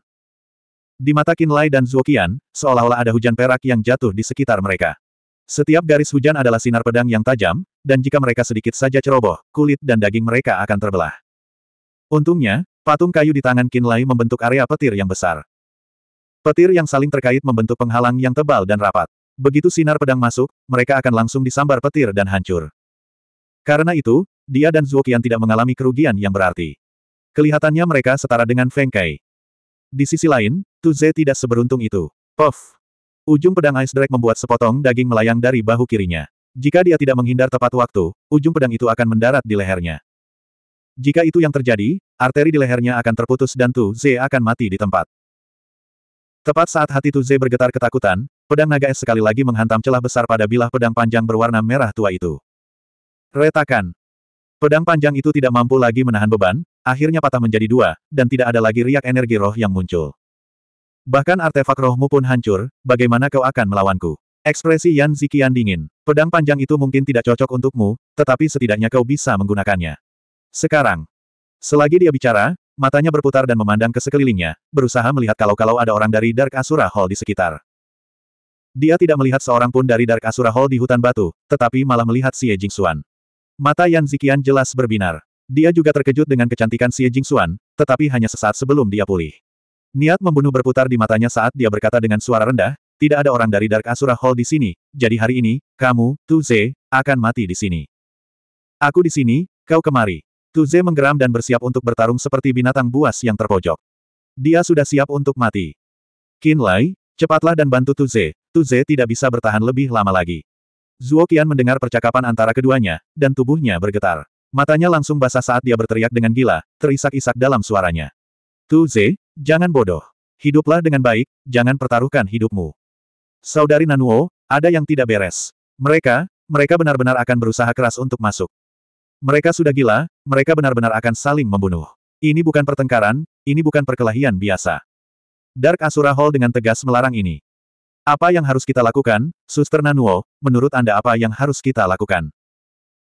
Gadis-gadis dari Sekte Bulan Air awalnya menonton dengan senyum di wajah mereka, tetapi saat ini, ekspresi mereka berubah dan mereka semua mulai berteriak ketakutan. Pada saat ini, Tu Ze, Zuo Qian, dan orang-orang di Paviliun Nebula semuanya berlumuran darah. Yan Ziqian dan Feng Kai sudah menunjukkan niat membunuh yang jelas. Pertarungan ini benar-benar berbeda dari apa yang mereka bayangkan. Pertarungan ini telah melampaui imajinasi mereka. Jangan berteriak, jangan berteriak, jangan peduli. Tenanglah, tidak seorang pun boleh bergerak. Senyum di wajah Nanuo juga menghilang. Ekspresinya sangat serius saat dia berteriak dengan kasar, memerintahkan mereka untuk tetap di tempat dan melarang siapa pun ikut campur. Dia tahu betul bahwa ini bukan saatnya bagi mereka untuk bertindak gegabah. Jika mereka menyebabkan kesalahpahaman yang tidak perlu, mereka mungkin akan terseret ke dalamnya juga. Kakatu, jangan terlalu memaksakan diri. Jangan bertarung dengan mempertaruhkan nyawamu, itu tidak sepadan. Kakatu, bersabarlah dulu. Ini lain kali kau mengatakannya. Lain kali, saat kau mendapatkan artefak roh, kau pasti bisa menghilangkan rasa malumu. Jangan impulsif. Kang Zi, Chu Peng, Han Feng, dan yang lainnya juga meraung dan berjuang keras. Mereka mengabaikan luka baru di tubuh mereka dan berusaha mati-matian untuk mendekati Tuse. Artefak roh. Artefak roh. Aku membawa artefak roh. Lai yang tadinya darahnya mendidih dan hendak menerjang ke sisi Tuze, tiba-tiba bereaksi dan langsung teringat alasan utama dia datang. Dia datang untuk mengantarkan artefak roh kepada Tuze dan Zuo Qian. Dia tiba-tiba menjadi tenang dan menatap Liang Song. Dengan suara sekeras yang bisa dia kerahkan, dia berteriak, Paman Zong, tolong lemparkan benda yang terbungkus terpal itu kepadaku. Dia hampir 100 meter jauhnya dari Liang Zong, tetapi situasi Tu Ze saat ini sangat berbahaya. Dia mungkin terbunuh di detik berikutnya. Dia tidak punya waktu untuk berlari maju mundur untuk mengambilnya. Tetapi dia tahu bahwa selama Liang Zong bersedia, 100 meter bukanlah masalah sama sekali. Karena itulah dia memohon dengan tulus. Nona, lihatlah wajah Liang Zong yang kebingungan. Dia masih tidak tahu apa yang terbungkus dalam terpal itu, jadi dia tidak mengerti ketidaksabaran Qin Lai. Berikan padanya, Xie Jingxuan berkata dengan acuh tak acuh. Dia juga tidak tahu apa yang terbungkus dalam terpal, dan dia juga penasaran. Penasaran mengapa Qin Lai masih ingat apa yang terbungkus dalam terpal saat ini, ketika Tu Ze hampir mati. Apa itu? Dia ingin melihat. Jadi Liang Zong melakukan apa yang diperintahkan kepadanya. Liang Zong mengulurkan tangan dan meraihnya. Dengan lemparan yang ceroboh, terpal itu terbungkus dalam lapisan cahaya biru dan terbang keluar. Terpal itu melintasi 100 meter dalam dua detik dan mendarat dengan mantap di atas kepala Qin Lai. Ia mendarat langsung di tangan Qin Lai. Saat membuka terpal, dua artefak roh yang indah tiba-tiba muncul. Satu adalah bilah panjang, dan yang lainnya adalah cambuk tulang naga. Itu adalah artefak cacat yang dimintanya dari Tu Ze dan Zuo Qian. Kakak Qian, aku akan berikan cambuk tulang naga kepadamu, dan aku akan berikan pedangnya kepada kakak Tu. Qin Lai mengeluarkan cambuk tulang naga. Memanfaatkan kemunduran mendadak Zuo Qian, dia melilitkan cambuk itu di pinggang rampingnya dan bergegas pergi sambil membawa pedang panjang. Qin Lai, tidak ada gunanya. Pedang itu rusak dan bahkan bukan artefak spiritual. Bahkan tidak sebagus yang rusak. Teriak Zuo Qian. Namun, dia hanya bisa berteriak sekali sebelum dipaksa diam oleh Feng Kai. Setelah Qin Lai pergi, tekanan padanya meningkat pesat dan dia benar-benar tidak diuntungkan. Kakak Tu, aku akan memberimu pisau baru. Qin Lai bergegas mendekat dan melemparkan pedang panjangnya dari jauh ke arah Tu Ze yang berlumuran butiran darah. Butiran-butiran darah itu terbentuk dari darah segar yang membeku. Butiran-butiran itu bening dan mempesona, tetapi itu adalah simbol paling kejam dari luka-luka mengerikan di tubuhnya. Ini adalah pedang yang disempurnakan oleh guru besar Lu untukmu. Yan Ziqian melihat pedang panjang itu terbang ke arahnya, tetapi dia sebenarnya tidak menyerang dengan panik untuk menghentikan Tu Ze menangkapnya. Sebaliknya, dia sedikit memperlambat serangannya dan membiarkan Tu Ze menangkap pedang itu. Wajahnya yang dingin dipenuhi dengan ejekan. Hanya artefak spiritual yang gagal yang dapat berfungsi sebagai penghalang untuk situasimu saat ini. Kamu dapat mengambil artefak spiritual yang rusak dan mati. Tuze yang tidak mempunyai bilah pedang untuk digunakan, mengulurkan tangan untuk menangkap bilah pedang itu dengan mentalitas bahwa memiliki senjata di tangan lebih baik daripada tidak sama sekali. Saat pedang panjang itu memasuki tangannya, perasaan terhubung oleh darah tiba-tiba melonjak ke dalam hati Tuze. Pedang itu, seakan-akan telah menjadi bagian dari tubuhnya. Seakan-akan telah menjadi perpanjangan tangan dan keempat anggota tubuhnya. Itu adalah perasaan yang sempurna dari sebuah artefak dan daging serta darah di tangan dan lengannya yang berada dalam harmoni yang sempurna. Dalam kehidupan ini, Tu Ze telah bermain dengan sedikitnya puluhan artefak roh dengan tingkatan berbeda, tetapi dia belum pernah mengalami perasaan yang begitu luar biasa. Dalam keheranannya, dia menyalurkan seni nebula dan menuangkannya ke dalam bilah panjang. Detik berikutnya, tubuh Tu Ze bergetar hebat, dan matanya tiba-tiba memancarkan cahaya yang menyilaukan. 84. Bisakah kau membiarkanku tinggal lebih lama? Ada beberapa hal yang ingin kubicarakan dengan Tu Ze dan Zuo Qian. Kata Qin Lai. Xie Jingxuan meliriknya dan sedikit mengernyitkan alisnya. Kemudian, dia mengangguk dan berkata, Ban Hong, ikutlah denganku. Aku ingin tahu situasi terkini. Dia menunggangi binatang neter mendalam dan menuju ke kedalaman hutan batu. Di hutan batu yang terjal, ada beberapa jalan yang sulit dilalui oleh praktisi bela diri, tetapi binatang neter mendalam berjalan seolah-olah itu adalah tanah datar dan bergerak seolah-olah sedang terbang. Ban Hong membawa sekelompok praktisi bela diri Aula Asura kegelapan dan membungkuk ke arah Liang Zong sebelum mengikuti di belakang Xie Jingxuan dan pergi. Liang Zong untuk sementara tinggal di belakang. Dia menyipitkan matanya dan mengerutkan kening saat dia memeriksa Gao Yu. Tatapannya terpaku pada asap hitam yang menyelimuti tubuh Gao Yu, seolah-olah dia sedang mempertimbangkan sesuatu. Pada saat ini, Yan Ziqian dan yang terluka dari Sateret Ice Manor semuanya memiliki ekspresi buruk di wajah mereka saat mereka saling mendukung dan berjalan bersama. Dada Yan Ziqian dan Feng Kai berlumuran darah, dan ada luka dalam di bahu dan perut mereka. Saat ini, wajah mereka gelap saat mereka sibuk membalut luka mereka. Yan Kingsong adalah yang paling menyedihkan. Dia tampaknya belum terbangun dari ilusi. Wajahnya pucat pasi, dan matanya linglung dan ketakutan. Mulutnya masih tanpa sadar menggumamkan beberapa kata yang tidak diketahui. Situasi Tuze dan Zuo Qian tidak jauh lebih baik daripada kelompok Qian Ziqian. Mereka juga penuh dengan luka dan sibuk membalut luka mereka. Namun, yang berbeda dari kelompok Qian Ziqian adalah bahwa Tuze dan Zuo Qian sama-sama bersemangat tinggi. Wajah mereka dipenuhi dengan kegembiraan dan kegembiraan yang tak terlukiskan. Mereka menggenggam erat artefak roh baru di tangan mereka, bilah panjang dan cambuk tulang naga. Mereka berdua tidak tahan berpisah dengan mereka, dan tidak ingin melepaskannya bahkan untuk sesaat. Seolah-olah mereka sedang berpegangan pada hidup mereka sendiri. Qin Lai, ini, pedang panjang ini. Mata Tuze benar-benar merah saat dia menatap Qin Lai dalam-dalam. Wajahnya dipenuhi kegembiraan seolah-olah dia ingin mengatakan sesuatu, tetapi karena dia terlalu bersemangat, dia tidak dapat menyelesaikan kalimatnya. Apa yang sebenarnya terjadi? Zuo Qian melangkah maju. Dia menepuk bahu Qin Lai dengan keras, wajah cantiknya dipenuhi dengan senyuman. Oh Qin Lai, bukankah guru besar lu gagal untuk benar-benar menyempurnakan pedang panjang dan cambuk tulang naga itu? Mengapa kedua artefak yang rusak ini tampaknya telah diaktifkan kembali ketika mereka jatuh ke tanganmu? Kang Zi si gendut kecil bertanya atas nama mereka berdua. Yan Ziqian dan Feng Kai dari Sateret Ice Manor saat ini sedang merawat luka mereka. Saat mereka mendengar kata-kata Kang Zi, mereka juga membeku dan melihat ke sekeliling. Mereka telah diaktifkan kembali. Di pihak Water Moon Sect, Nanuo dan adik-adik perempuannya juga tercengang. Mata mereka yang cerah juga terfokus pada Qin Lai saat sebuah pertanyaan muncul di benak mereka, mungkinkah itu karena dia? Sebelumnya, diagram roh Longblade dan Dragon Bone Whip belum selesai. Aku hanya meminta seseorang untuk membantuku menyelesaikannya. Di tengah-tengah perkataannya, Qin Lai tiba-tiba teringat peringatan Limu. Ia berkata bahwa mengenai masalah diagram roh, ia tidak boleh mengatakan bahwa ia telah menyelesaikannya sendiri. Ia berkata bahwa melakukan hal itu akan terlalu mengejutkan dan tidak akan menimbulkan masalah yang tidak perlu. Setelah meminta seseorang untuk menyelesaikan diagram roh, seluruh wajah Tu Ze berseri-seri. Orang itu, orang itu jelas merupakan perajin yang paling luar biasa. Orang itu mampu menyelesaikan diagram roh yang tidak dapat disatukan dengan sempurna oleh guru besar Lu, dan hasilnya sungguh, sungguh tidak terbayangkan. Ia jelas merupakan perajin yang luar biasa. Perkataan Tu Ze sedikit tidak masuk akal. Karena ia benar-benar sangat menyukai pedang panjang ini. Saat ini, ia berani memastikan bahwa ini adalah artefak roh yang ia impikan, harta karun pamungkas yang hanya ada untuknya. Pencapaiannya dalam penempaan artefak jelas melampaui guru besar Lu satu tingkat. Kalau tidak, ia pasti tidak akan berhasil menyelesaikan diagram itu. Zuo Qian juga 100% yakin. Kemudian, ia bertanya dengan bingung, Qin Lai. Karena kau mengenal orang seperti itu, mengapa kau merendahkan dirimu menjadi asisten guru besar Yao? Uh, ini, Qin Lai ini tergagap. Adik kecil, bisakah kau meminjamkanku pisau panjang itu untuk kulihat? Aku hanya ingin melihatnya. Di sisi lain, Liang Zong sepertinya telah memikirkan sesuatu. Tubuhnya berkelebat, dan dia muncul seperti hantu dari sisi Gao Yu. Dia mengerutkan kening dan mengulurkan tangannya ke arah Tu Ze. Dia adalah anggota Aula Asura Kegelapan. Bahkan Ban Hong memanggilnya Tuan Liang, jadi Tu Ze tidak berani menyinggung perasaannya. Setelah ragu-ragu sejenak, dia dengan patuh menyerahkan pisau panjang itu. Liang Zong mengambil pisau panjang itu, menyipitkan matanya, dan merasakannya selama beberapa detik. Ekspresinya sedikit berubah, dan dia mengembalikan pisau panjang itu kepada Tuze.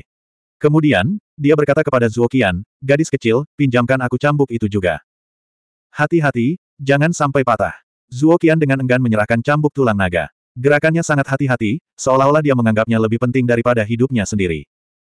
Jangan khawatir, Liang Zong menghiburnya, mengambil cambuk itu, dan juga memeriksanya dengan mata menyipit. Matanya menampakkan keheranan, dan kemudian dia juga mengembalikan cambuk tulang naga itu kepada pemiliknya.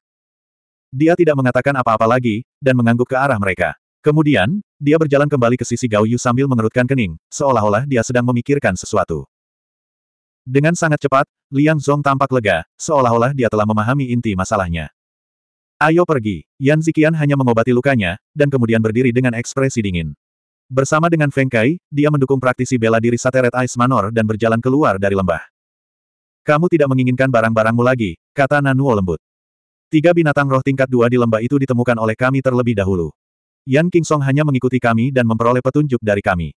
Kang Zi mendengus sambil melihat mayat tiga binatang roh itu. Oleh karena itu, setidaknya setengah dari binatang roh di sini adalah milik kami, dan mereka tidak ada hubungannya dengan Sateret Ice Manor. Benar sekali. Semangat Tuze terguncang, dan keputusasaannya sebelumnya pun sirna. Mengangkat bila pedangnya yang panjang dan berkilauan dengan cahaya bintang, dia berkata dengan arogan, bagian Sateret Ice Manor akan menjadi milik Nebula Pavilion kami. Tuze, Kau punya nyali. Mata Yan Zikian memerah sepenuhnya, dan wajah para praktisi bela diri Sateret Ice Manor juga berkerut, tampak seolah-olah mereka ingin terus bertarung sampai mati. Zuo Qian mengeluarkan cambuk tulang naga, aura pembunuh muncul di mata Phoenix-nya. Bukankah kau sudah sering melakukan hal seperti ini? Dalam dua bulan terakhir, katakan padaku, berapa banyak rampasan perang yang telah kau rampas dari tangan kami? Mengapa kau tidak tahan sekarang saat giliran kami tiba? Dengan jentikan cambuk tulang naga, naga angin terbentuk dengan suara mendesing. Jika kau tidak yakin, tanyakan saja pada cambuk di tanganku. Sebelumnya, Karena Tu Ze dan Zuoqian bukan lawan Yan Ziqian dan Feng Kai, orang-orang dari Sateret Ice Manor telah mengarahkan pandangan mereka pada Tu Ze dan yang lainnya, dengan sengaja mencoba untuk menimbulkan masalah. Begitu Tu Ze dan yang lainnya membunuh binatang buas roh, mereka akan segera melompat keluar dan mengatakan bahwa merekalah yang mengejar terlebih dahulu, memaksa Tu Ze dan yang lainnya untuk menyerah pada rampasan perang. Sekarang setelah situasinya terbalik, Tu Ze dan Zuoqian akhirnya berada di atas angin, dan mereka juga belajar dari langkah Sateret Ice Manor, akhirnya melampiaskan kebencian mereka. Bagus, sangat bagus. Wajah Yan Ziqian sedingin es. Dia menatap mereka berdua dalam-dalam selama beberapa saat sebelum akhirnya melirik Qin Lai. Menganggukkan kepalanya, dia berkata, Qin Lai, Qin Lai. Dia berulang kali memanggil nama Qin Lai dengan suara rendah. Membawa Feng Kai dan praktisi bela diri Sateret Ice Manor lainnya, dia meninggalkan lembah dengan kepala tertunduk. Semua orang bisa mendengar kebencian yang mendalam yang terkandung dalam setiap panggilannya untuk Qin Lai. Tidak seorang pun meragukan bahwa jika Qin Lai jatuh ke tangannya suatu hari nanti, dia pasti akan diperlakukan dengan sangat kejam. Orang-orang Sateret Ice Manor, mereka meninggalkan lembah. Zuo Qian tiba-tiba melihat ke arah Nanuo. Tidak masalah. Nanuo mengangkat bahunya. Bagaimanapun, apa yang seharusnya diberikan kepada Sateret Ice Manor hanyalah sebagian dari bahan roh poison Skale Scorpion dan Golden Highred AP. Hehe, mereka tidak keberatan. Mereka menyerah atas kemauan mereka sendiri, jadi apalagi yang bisa dikatakan oleh Sekte Water Moon kita. Itu bagus. Zuo Qian tampaknya tidak menyukai Nanuo. Dia mendengus dingin dan mengangguk sedikit. Qin Lai, dasar bocah nakal, kamu benar-benar datang pada waktu yang tepat. Pada saat ini, Tu Ze, Kang Zi, dan yang lainnya akhirnya bersorak kegirangan. Satu persatu, mereka bergantian memeluk Qin Lai dengan erat, melampiaskan kegembiraan di hati mereka dengan cara yang jantan. Segera, Tu Ze, Kang Zi, dan Chu Peng bergantian memeluk Qin Lai. Zuo Qian terkekeh. Di bawah tatapan mata Tu Ze, Kang Zi, dan yang lainnya, dia berjalan di depan Qin Lai dan memeluknya erat. Bibirnya yang harum bergerak ke telinga Qin Lai dan dia berkata dengan suara rendah, terima kasih. Kemudian dia melepaskannya dengan senyum tipis, sedikit rasa malu muncul di pipinya. Ada apa dengan orang dari Aula Asura kegelapan itu? Mengapa kau mengikutinya ke sini? Tu Ze kemudian bertanya. Gao Yu, ke mana kau pergi? Qin Lai sedang menjawab. Tiba-tiba, ia melihat Gao Yu berjalan melewati Liang Song dengan ekspresi muram. Ia sebenarnya berjalan ke arah yang ditinggalkan Xie Jingxuan dan Ban Hong. Ia buru-buru meninggalkan Tu Ze dan yang lainnya dan datang ke samping Gao Yu, berkata, mengapa kau juga di sini? Nak, sebaiknya kau tahu tempatmu. Liang Zong menatap Gao Yu dan berteriak dingin. Di seluruh pavilion Nebula, Gao Yu hanya punya satu teman, Qin Lai. Persahabatan antara keduanya telah terjalin di Gunung Serigala Surgawi. Ketika ia memperlakukan Tu Ze, Zuo Qian, dan yang lainnya, ia selalu mengabaikan mereka dengan wajah dingin, tidak memberikan muka kepada satupun.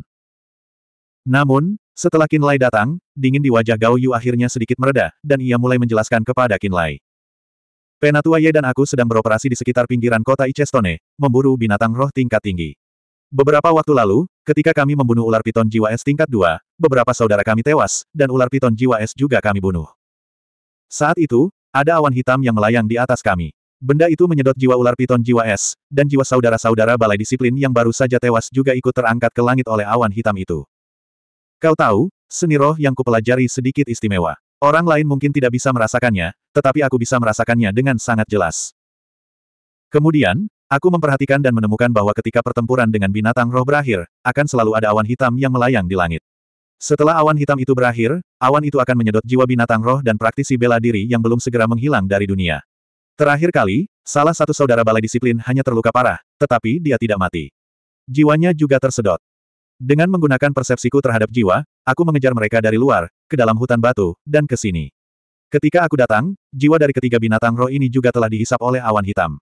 Awan hitam itu telah masuk jauh ke dalam hutan batu, jadi aku ingin pergi melihatnya. Aku ingin memahami apa yang telah terjadi. Gao Yu menjelaskan alasannya. Ketika Tu Ze, Zuo Qian, dan gadis-gadis dari Sekte Bulan Air mendengarkan penjelasan Gao Yu, ekspresi mereka semua sedikit berubah.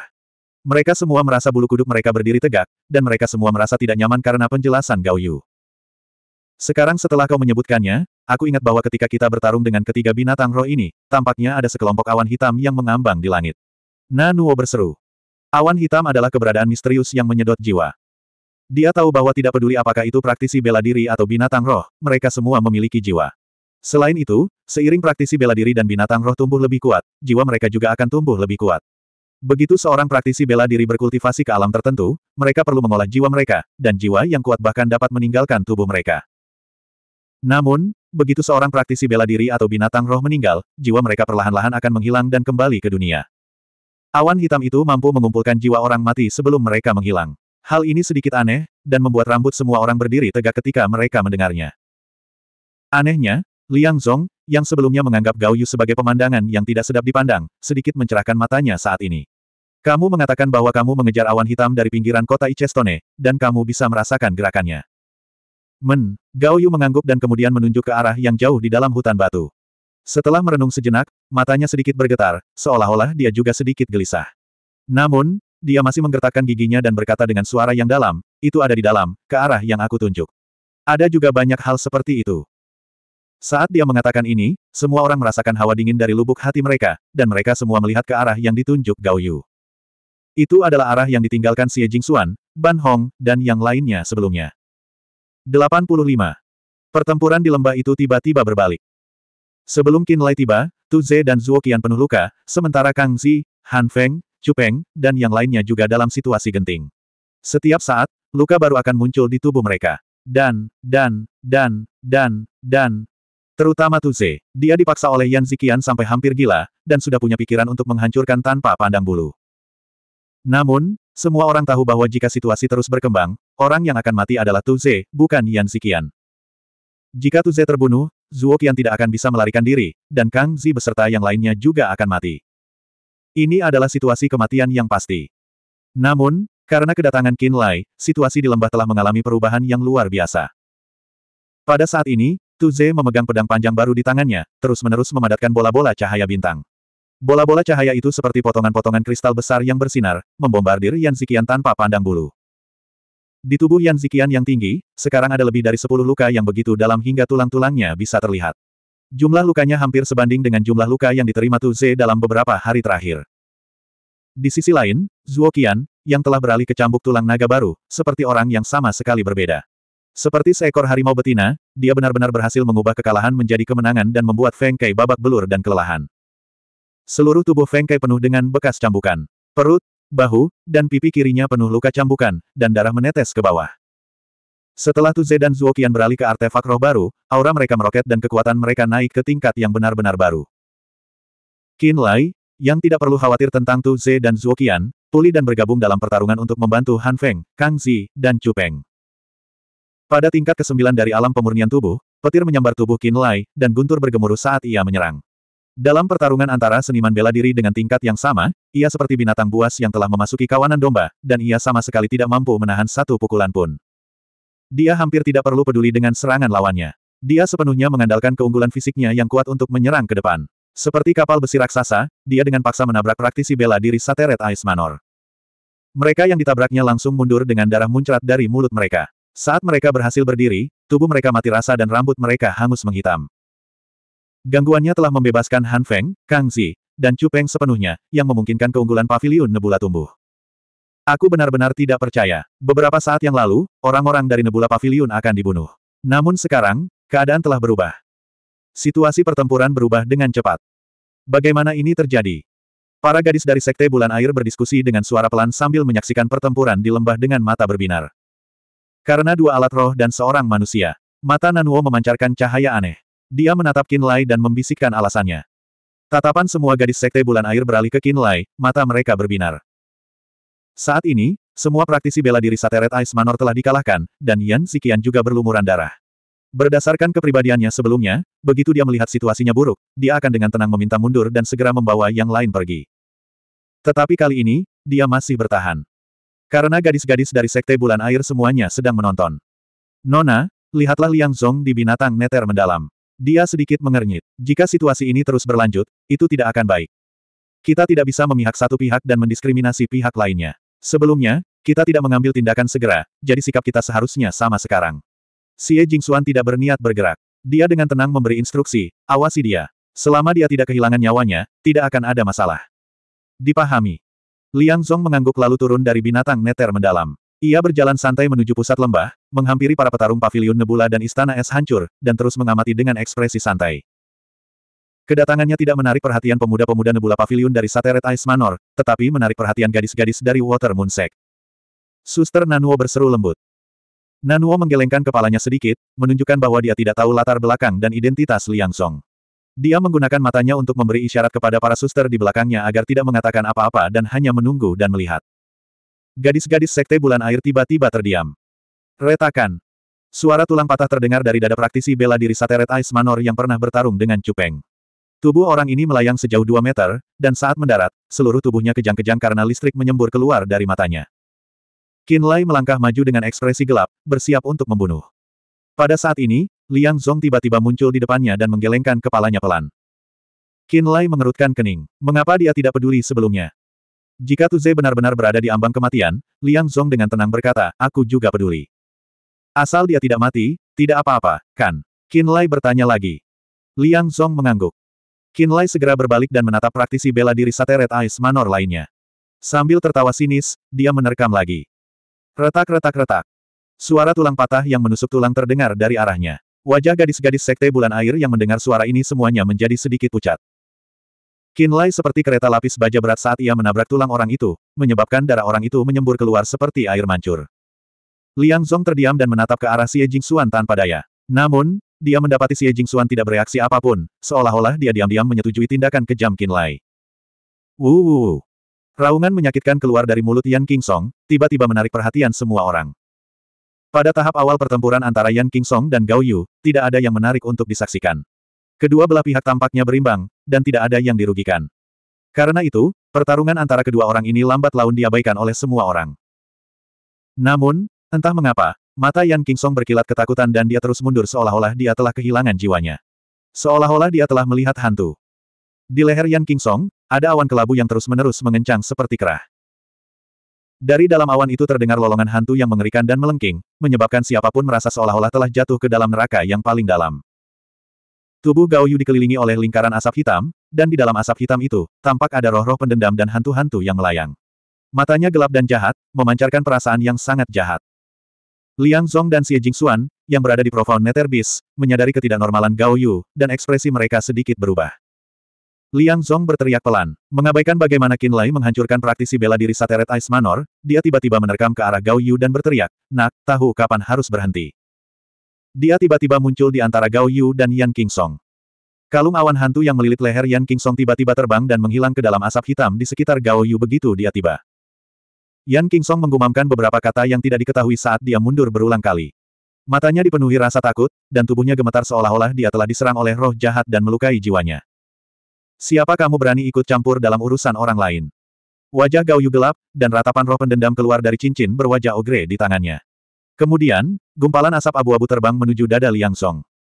Tatapan mata Liang Song berubah dingin. Tiba-tiba dia mendengus dan menyemburkan sinar hijau. Cahaya hijau itu bagaikan air terjun, bagaikan bilah cahaya tajam yang memotong bola-bola udara menjadi beberapa bagian. Wajah Gao Yu memucat, dan dia tidak bisa menahan diri untuk mundur beberapa langkah. Dia menatap Liang Zong dengan penuh kebencian, tetapi dia tidak berani melanjutkan serangannya. Semua orang berhenti, siapa yang mengizinkanmu bertarung? Tepat pada saat ini, suara laki-laki yang dalam terdengar dari pintu masuk.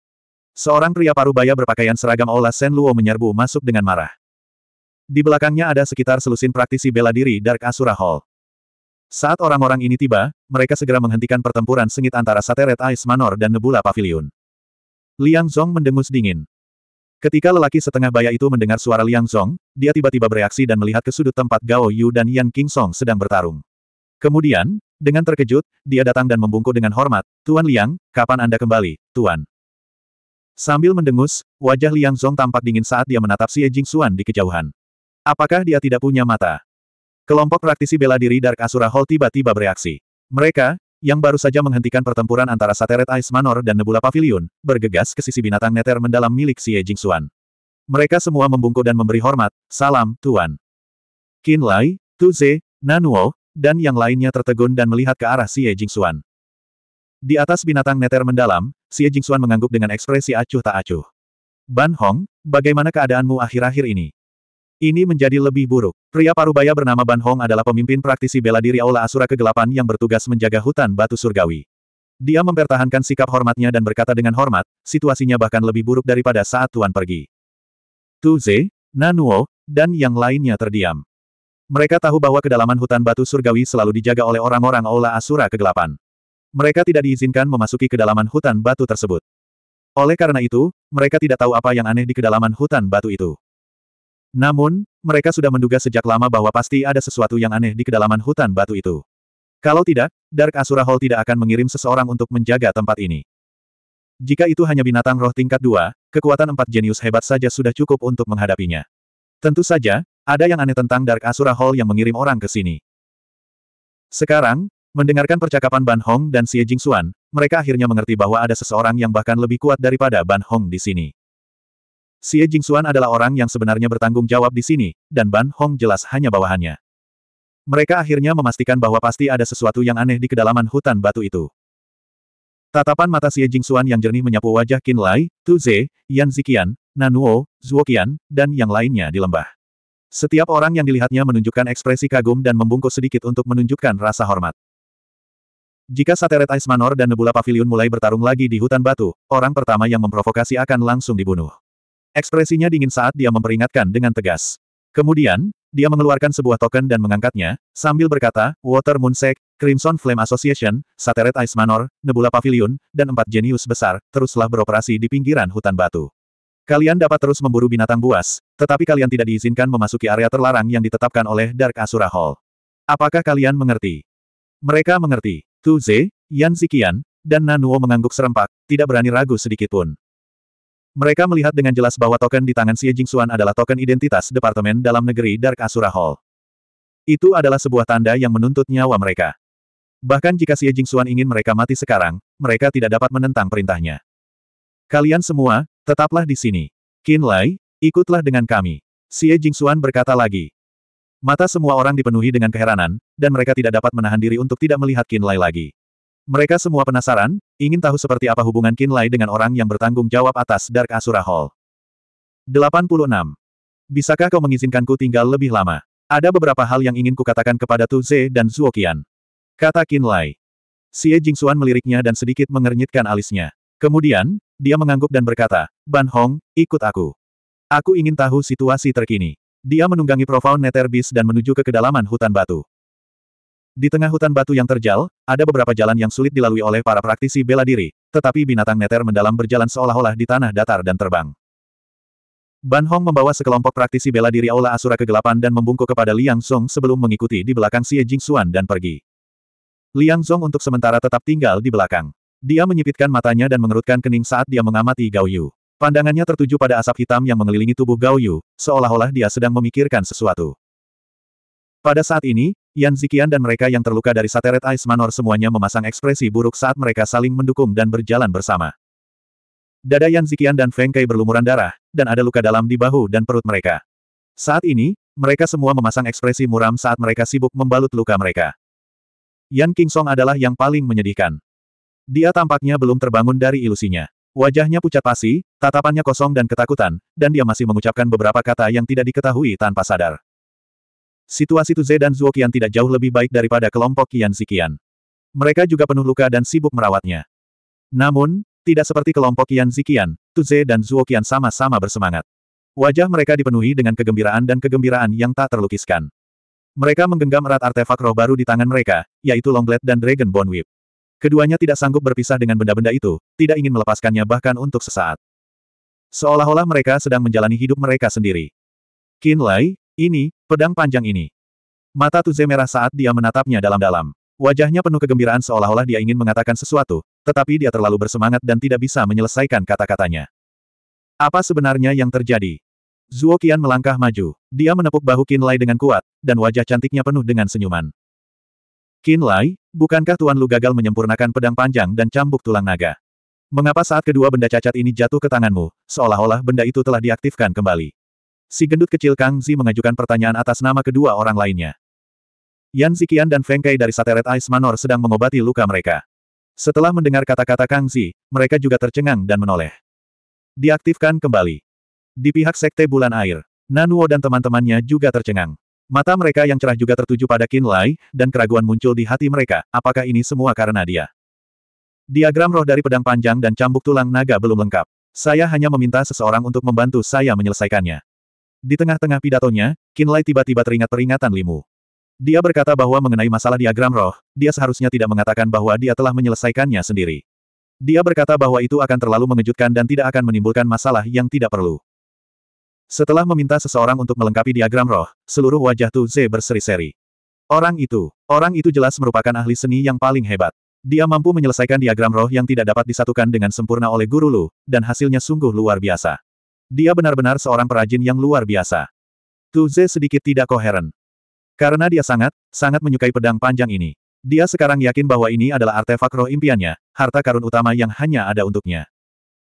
Keahliannya dalam menempa artefak jelas melampaui Master Lu. Kalau tidak, dia pasti tidak akan berhasil menyelesaikan diagram itu. Zuo Qian juga 100% yakin. Kemudian, dia bertanya dengan bingung, Qin Lai. Jika kamu kenal orang seperti itu, kenapa kamu merendahkan dirimu untuk menjadi asisten guru Yao? Eh, ini, ini. Qin Lai tergagap. Adik kecil, bisakah kau meminjamkanku pedang panjang itu? Aku hanya ingin melihatnya. Di sisi lain, Liang Zong tampak memikirkan sesuatu. Tubuhnya berkelebat, dan dia muncul seperti hantu dari sisi Gao Yu. Dia mengerutkan kening dan mengulurkan tangannya ke arah Tu Ze. Dia adalah anggota Dark Asura Hall, dan bahkan Ban Hong memanggilnya Tuan Liang. Tu Ze tidak berani menyinggung perasaannya. Setelah ragu sejenak, dia dengan patuh menyerahkan pedang panjang itu. Liang Zong mengambil pedang itu, menyipitkan matanya, dan merasakannya selama beberapa detik. Ekspresinya sedikit berubah, dan dia menyerahkan pedang panjang itu kembali kepada Tu Ze. Kemudian, dia berkata kepada Zuo Qian, gadis kecil, pinjamkan aku cambuk itu juga. Hati-hati, jangan sampai merusaknya. Zuo Qian dengan enggan menyerahkan cambuk tulang naga. Gerakannya sangat hati-hati, seolah-olah dia menganggapnya lebih penting daripada hidupnya sendiri. Jangan khawatir. Liang Zong menghiburnya, mengambil cambuk itu, dan mengamatinya dengan mata menyipit. Matanya menunjukkan keterkejutan, lalu dia mengembalikan cambuk tulang naga itu kepada pemiliknya. Dia tidak mengatakan apa-apa lagi, mengangguk kepada yang lain, dan berjalan kembali ke sisi Gao Yu sambil mengerutkan kening. Dia tampak sedang memikirkan sesuatu. Tak lama kemudian, Liang Zong tampak merasa lega, seolah dia telah memahami inti permasalahannya. Ayo pergi. Yan Ziqian hanya mengobati lukanya, berdiri dengan ekspresi dingin, dan membantu para praktisi bela diri Sateret Ice Manor bersama Feng Kai saat mereka berjalan keluar dari lembah. Kamu tidak menginginkan barang-barangmu lagi, kata Nanuo lembut. Tiga binatang roh tingkat dua di lembah itu ditemukan oleh kami terlebih dahulu. Yan Kingsong hanya mengikuti kami dan memperoleh petunjuk dari kami. Kang Zi mendengus dan melihat mayat tiga binatang roh itu. Jadi, setidaknya setengah dari binatang roh di sini adalah milik kita, dan mereka tidak ada hubungannya dengan Sateret Ice Manor. Benar sekali. Semangat Tuze terguncang, dan kekesalannya sebelumnya pun sirna. Sambil memegang pedang panjang yang berkilau, dia berkata dengan angkuh, bagian Sateret Ice Manor akan menjadi milik Nebula Pavilion kita. Tuze, kau punya nyali. Mata Yan Zikian memerah, dan wajah para praktisi bela diri Sateret Ice Manor juga berkerut, tampak seperti mereka ingin terus bertarung sampai mati. Bagaimana mungkin kau tidak menerimanya? Zuo Qian mengeluarkan cambuk tulang naga, dan aura pembunuh muncul di mata Phoenix-nya. Bukankah kau sudah melakukan ini berkali-kali? Dalam dua bulan terakhir, katakan padaku, berapa banyak rampasan perang yang telah kau curi dari tangan kami? Bagaimana mungkin kau tidak menerimanya sekarang saat giliran kami tiba? Dengan ayunan cambuk tulang naga, naga angin terbentuk dengan suara mendesing. Jika kau tidak menerimanya, maka mintalah cambuk di tanganku. Sebelumnya, karena Tu Ze dan Zuo Qian bukan lawan Yan Ziqian dan Feng Kai, orang-orang Sateret Ice Manor telah mengawasi Tu Ze dan yang lainnya, dengan sengaja mencoba untuk menimbulkan masalah. Begitu Tu Ze dan yang lainnya membunuh binatang roh, mereka akan segera melompat keluar dan mengatakan bahwa merekalah yang mengejar mereka terlebih dahulu, memaksa Tu Ze dan yang lainnya untuk menyerah pada rampasan perang. Kini keadaan telah terbalik, Tu Ze dan Zuo Qian akhirnya berada di pihak yang lebih unggul, dan mereka juga belajar dari gerakan Sateret Ice Manor, dan akhirnya melampiaskan kemarahan mereka. Bagus, sangat bagus. Wajah Yan Ziqian sedingin es, dan dia menatap keduanya dalam-dalam selama beberapa saat sebelum akhirnya menatap Qin Lai. Menganggukkan kepalanya, dia berkata, Qin Lai. Dia berulang kali memanggil nama Qin Lai dengan suara pelan saat dia memimpin Feng Kai dan para praktisi bela diri Sateret Ice Manor lainnya keluar dari lembah dengan kepala tertunduk. Semua orang bisa mendengar kebencian yang mendalam dalam suaranya ketika dia memanggil Qin Lai. Tidak seorang pun meragukan bahwa jika Qin Lai jatuh ke tangannya suatu hari nanti, dia pasti akan diperlakukan dengan sangat kejam. Orang-orang Sateret Ice Manor, mereka meninggalkan lembah itu. Zuo Qian tiba-tiba menatap Nanuo. Tidak masalah. Nanuo mengangkat bahunya. Bagaimanapun, bahan-bahan roh yang seharusnya diberikan kepada Sateret Ice Manor hanyalah sebagian dari bahan-bahan roh Poison Skale Scorpion dan Golden Hired AP. Hehe, mereka tidak keberatan. Karena mereka sudah menyerah sendiri, apalagi yang bisa dikatakan sekte bulan air kita. Itu bagus. Zuo Qian tampaknya tidak menyukai Nanuo. Dia mendengus dingin dan mengangguk sedikit. Qin Lai, bocah nakal, kau benar-benar datang di waktu yang tepat. Pada saat ini, Tu Ze, Kang Zi, dan yang lainnya akhirnya bersorak kegirangan. Satu persatu, mereka bergantian memeluk erat Qin Lai, melampiaskan kegembiraan di hati mereka dengan cara yang jantan. Sangat cepat, Tu Ze, Kang Zi, dan Chu Peng bergantian memeluk Qin Lai. Zuo Qian tertawa kecil. Di bawah tatapan mata Tu Ze, Kang Zi, dan yang lainnya, dia berjalan ke arah Qin Lai dan memeluknya erat-erat.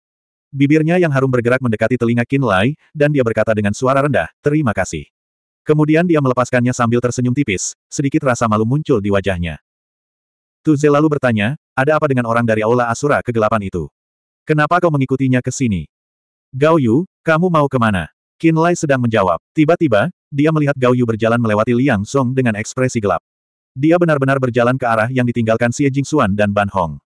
Dia buru-buru meninggalkan Tu Ze dan yang lainnya dan datang ke samping Gao Yu, berkata, mengapa kamu juga di sini? Bocah nakal, lebih baik kau tahu tempatmu. Liang Song menatap Gao Yu dan berteriak dingin. Di seluruh pavilion Nebula, Gao Yu hanya punya satu teman, Qin Lai.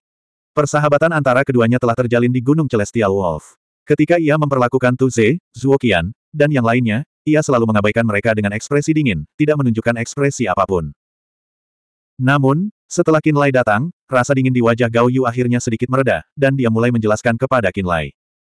Penatua Ye dan aku sedang aktif di pinggiran kota Ichestone, memburu binatang roh tingkat tinggi. Beberapa waktu lalu, ketika kami membunuh ular piton jiwa S tingkat 2, beberapa saudara kami tewas, dan ular piton jiwa S itu juga kami bunuh. Saat itu, ada awan hitam melayang di atas kami. Benda itu telah mengambil jiwa Ice Soul Piton, dan jiwa saudara-saudara aula disiplin yang baru saja meninggal juga dibawa ke langit oleh awan hitam. Tahukah kau, seni roh yang aku kembangkan sedikit istimewa. Orang lain mungkin tidak dapat merasakannya, tetapi saya merasakannya dengan sangat jelas. Kemudian saya perhatikan dan temukan bahwa ketika pertarungan dengan makhluk roh berakhir, selalu ada awan hitam yang mengambang di langit. Setelah awan hitam itu berakhir, ia akan menyerap jiwa binatang buas dan praktisi bela diri yang belum segera menghilang dari dunia. Terakhir kali, salah satu saudara balai disiplin hanya terluka parah, tetapi ia tidak mati. Jiwanya juga diambil. Mengandalkan kemampuanku merasakan jiwa, aku mengejarnya dari luar, ke dalam hutan batu, dan sampai di sini. Ketika aku tiba, jiwa ketiga binatang roh itu juga tersedot oleh awan hitam. Awan hitam itu telah masuk jauh ke dalam hutan batu, dan aku ingin melihat situasinya. Aku ingin memahami apa yang telah terjadi. Gao Yu menjelaskan alasannya. Ketika Tuze, Zuo Qian, dan gadis-gadis dari Sekte Bulan Air mendengar penjelasan Gao Yu, ekspresi mereka semua berubah sedikit. Mereka semua merasakan hawa dingin menjalar di tulang belakang mereka, dan mereka semua merasa tidak nyaman karena penjelasan Gao Yu. Sekarang setelah Anda menyebutkannya, ketika kami bertarung melawan ketiga binatang roh ini, tampaknya ada awan hitam yang mengambang di langit. Nanuo berseru. Awan hitam adalah keberadaan misterius yang dapat menyerap jiwa. Qin Lai juga merasakan hawa dingin dari lubuk hatinya. Dia tahu bahwa baik praktisi bela diri maupun binatang roh memiliki jiwa, dan seiring praktisi bela diri dan binatang roh tumbuh lebih kuat, jiwa mereka juga akan tumbuh lebih kuat. Ketika seorang praktisi bela diri berkultivasi ke alam tertentu, mereka perlu mengolah jiwa mereka, dan jiwa yang kuat bahkan dapat meninggalkan tubuh mereka. Namun, saat seorang praktisi bela diri atau makhluk roh meninggal, jiwa mereka perlahan akan menghilang dan kembali ke dunia. Awan hitam itu mampu mengumpulkan jiwa-jiwa orang mati sebelum mereka menghilang. Hal ini agak aneh, dan membuat rambut semua orang berdiri tegak. Anehnya, Liang Zong, yang sebelumnya tidak menyukai Gao Yu, matanya berbinar. Kamu mengatakan bahwa kamu mengejar awan hitam itu dari pinggiran kota Ichestone, dan kamu bisa merasakan pergerakannya. MN. Gao Yu mengangguk lalu menunjuk ke arah yang jauh di dalam hutan batu. Setelah berpikir sejenak, matanya sedikit bergetar, seolah-olah dia juga sedikit gelisah. Namun, dia masih menggertakkan giginya dan berkata dengan sungguh-sungguh, di dalam, ke arah yang aku tunjuk. Ada juga, ada banyak hal seperti itu. Ketika dia mengatakan hal ini, semua orang merasakan hawa dingin dari lubuk hati mereka dan melihat ke arah yang ditunjuk Gao Yu. Itu adalah arah yang ditinggalkan Xie Jingxuan, Ban Hong, dan yang lainnya. 87. Qin Lai, Tu Zenano, dan yang lainnya semua terkejut dalam hati oleh kata-kata Gao Yu dan melihat ke arah yang ditunjuk Gao Yu. Pada saat ini, Liang Zong tiba-tiba berbicara. Namamu Gao Yu, kan? Baiklah, kamu bisa pergi bersama Qin Lai dan diizinkan memasuki kedalaman hutan batu untuk bekerja sama dengan operasi kami. Wajah Gao Yu menjadi gelap. Operasi apa? Anda akan mengetahuinya secara alami.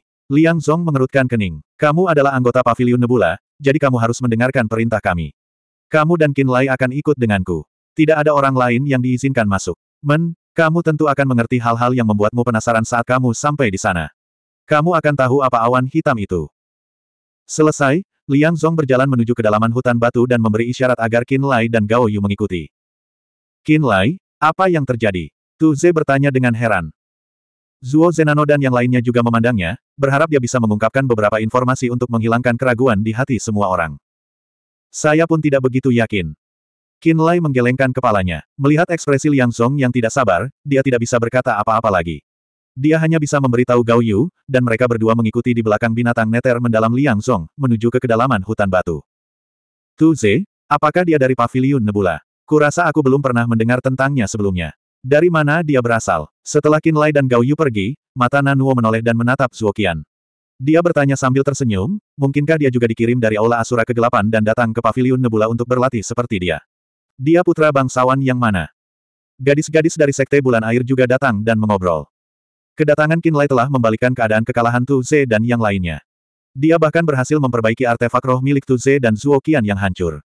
Qin Lai juga mengikuti Xie Jingxuan dan tampaknya memiliki hubungan dekat dengan Dark Asura Hall.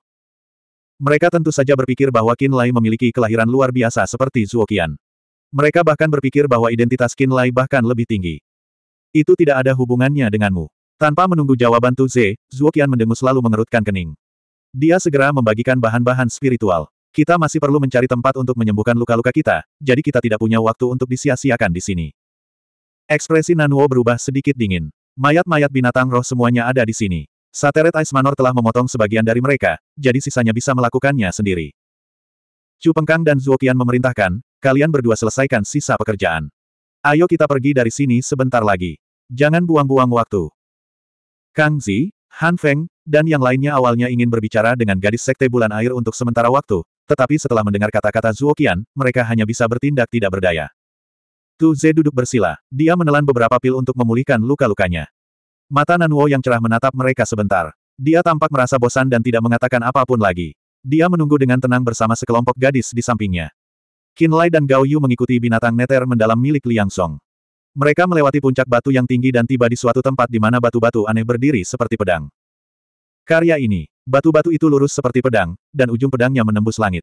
Sekilas, itu tampak seperti hutan pedang yang dibentuk oleh pedang-pedang raksasa.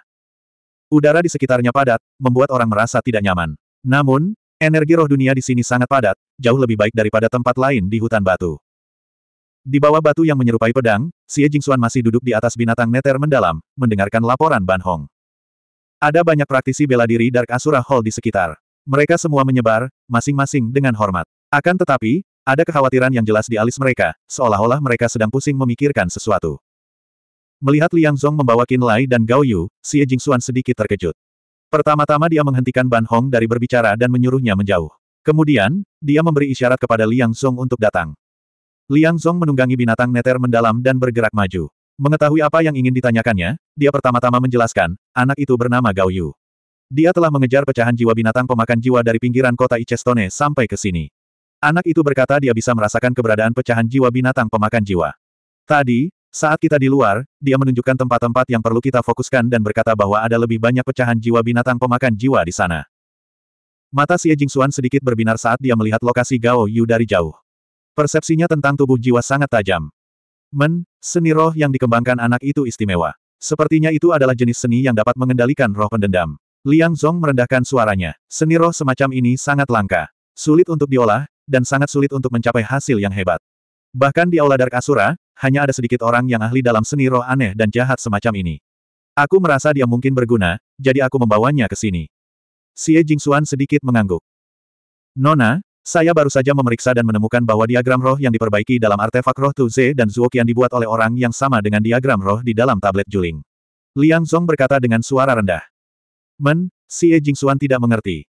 Seperti ini, Liang Zong menjelaskan bahwa artefak roh Tu Ze dan Zuoqian telah disempurnakan oleh guru besar Lu, tetapi ada yang tidak beres selama prosesnya. Tampaknya diagram roh saling bertentangan. Akibatnya, guru besar Lu tidak berhasil menempa kedua artefak roh tersebut, menyebabkannya menjadi rusak.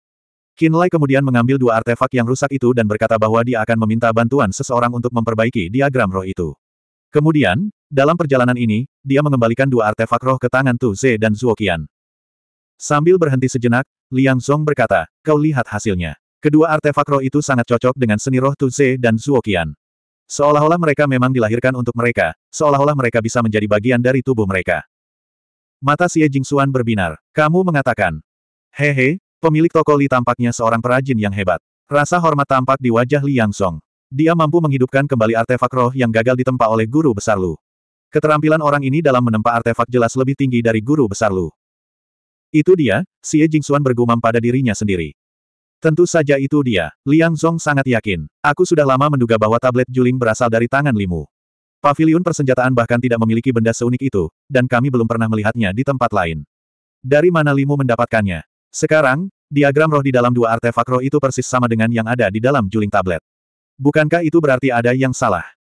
Xie Jingxuan berpikir sejenak dan mengangguk pelan. Sepertinya begitu. Lain kali kita pergi ke toko Li, kita harus lebih berhati-hati. Seorang perajin yang ulung pasti memiliki latar belakang yang hebat. Ekspresi Liang Zong serius. Aku juga akan meminta orang untuk menyelidiki identitas asli Limu ini. Saya akan melihat apa latar belakangnya. Men, kalau kita punya juling tablet lebih banyak, kita seharusnya bisa sedikit lebih santai kali ini. Kata Xie Jingxuan. Nona, bagaimana keadaannya sekarang? Liang Zong bertanya. Lihat sendiri, Xie Jingxuan menghela nafas pelan. Ekspresi Liang Zong menjadi berat. Tiba-tiba dia terbang dari binatang neter mendalam dan memanjat puncak batu terbesar seperti keraroh. Dia segera berdiri di puncak-puncak batu dan melihat ke kejauhan puluhan meter di atas tanah. Melihat ke bawah dari atas, dia bisa melihat suatu area jauh di dalam hutan batu. Itu tertutup awan hitam tebal, dan dia tidak dapat melihat apa yang ada di dalamnya. Awan hitam itu menggeliat seolah-olah memiliki kehidupan sendiri. Mereka memancarkan aura dingin dan jahat, meskipun mereka berada sangat jauh. Liang Zong bisa merasakan getaran mengerikan dari dalam. Di luar area itu, ada banyak binatang roh dalam satu lingkaran, dan banyak dari mereka adalah tingkat dua. Binatang roh itu berkumpul di sekitar awan hitam, menghalangi jalan masuk. Jika mereka ingin memasuki area dengan awan hitam tebal, mereka harus membunuh binatang roh dan setidaknya membuka jalan. Alis Liang Zong berkerut dalam. Dengan perkiraan kasar, ia menemukan bahwa ada beberapa ratus binatang roh peringkat satu dan 20 hingga 30 binatang roh peringkat dua. Mereka mencoba untuk membuka jalan. Ini adalah tugas yang sulit, dan mungkin tidak akan mudah. Setelah mengamati sebentar, alis Liang Zong berkerut dan dia berkata, situasinya tidak optimis.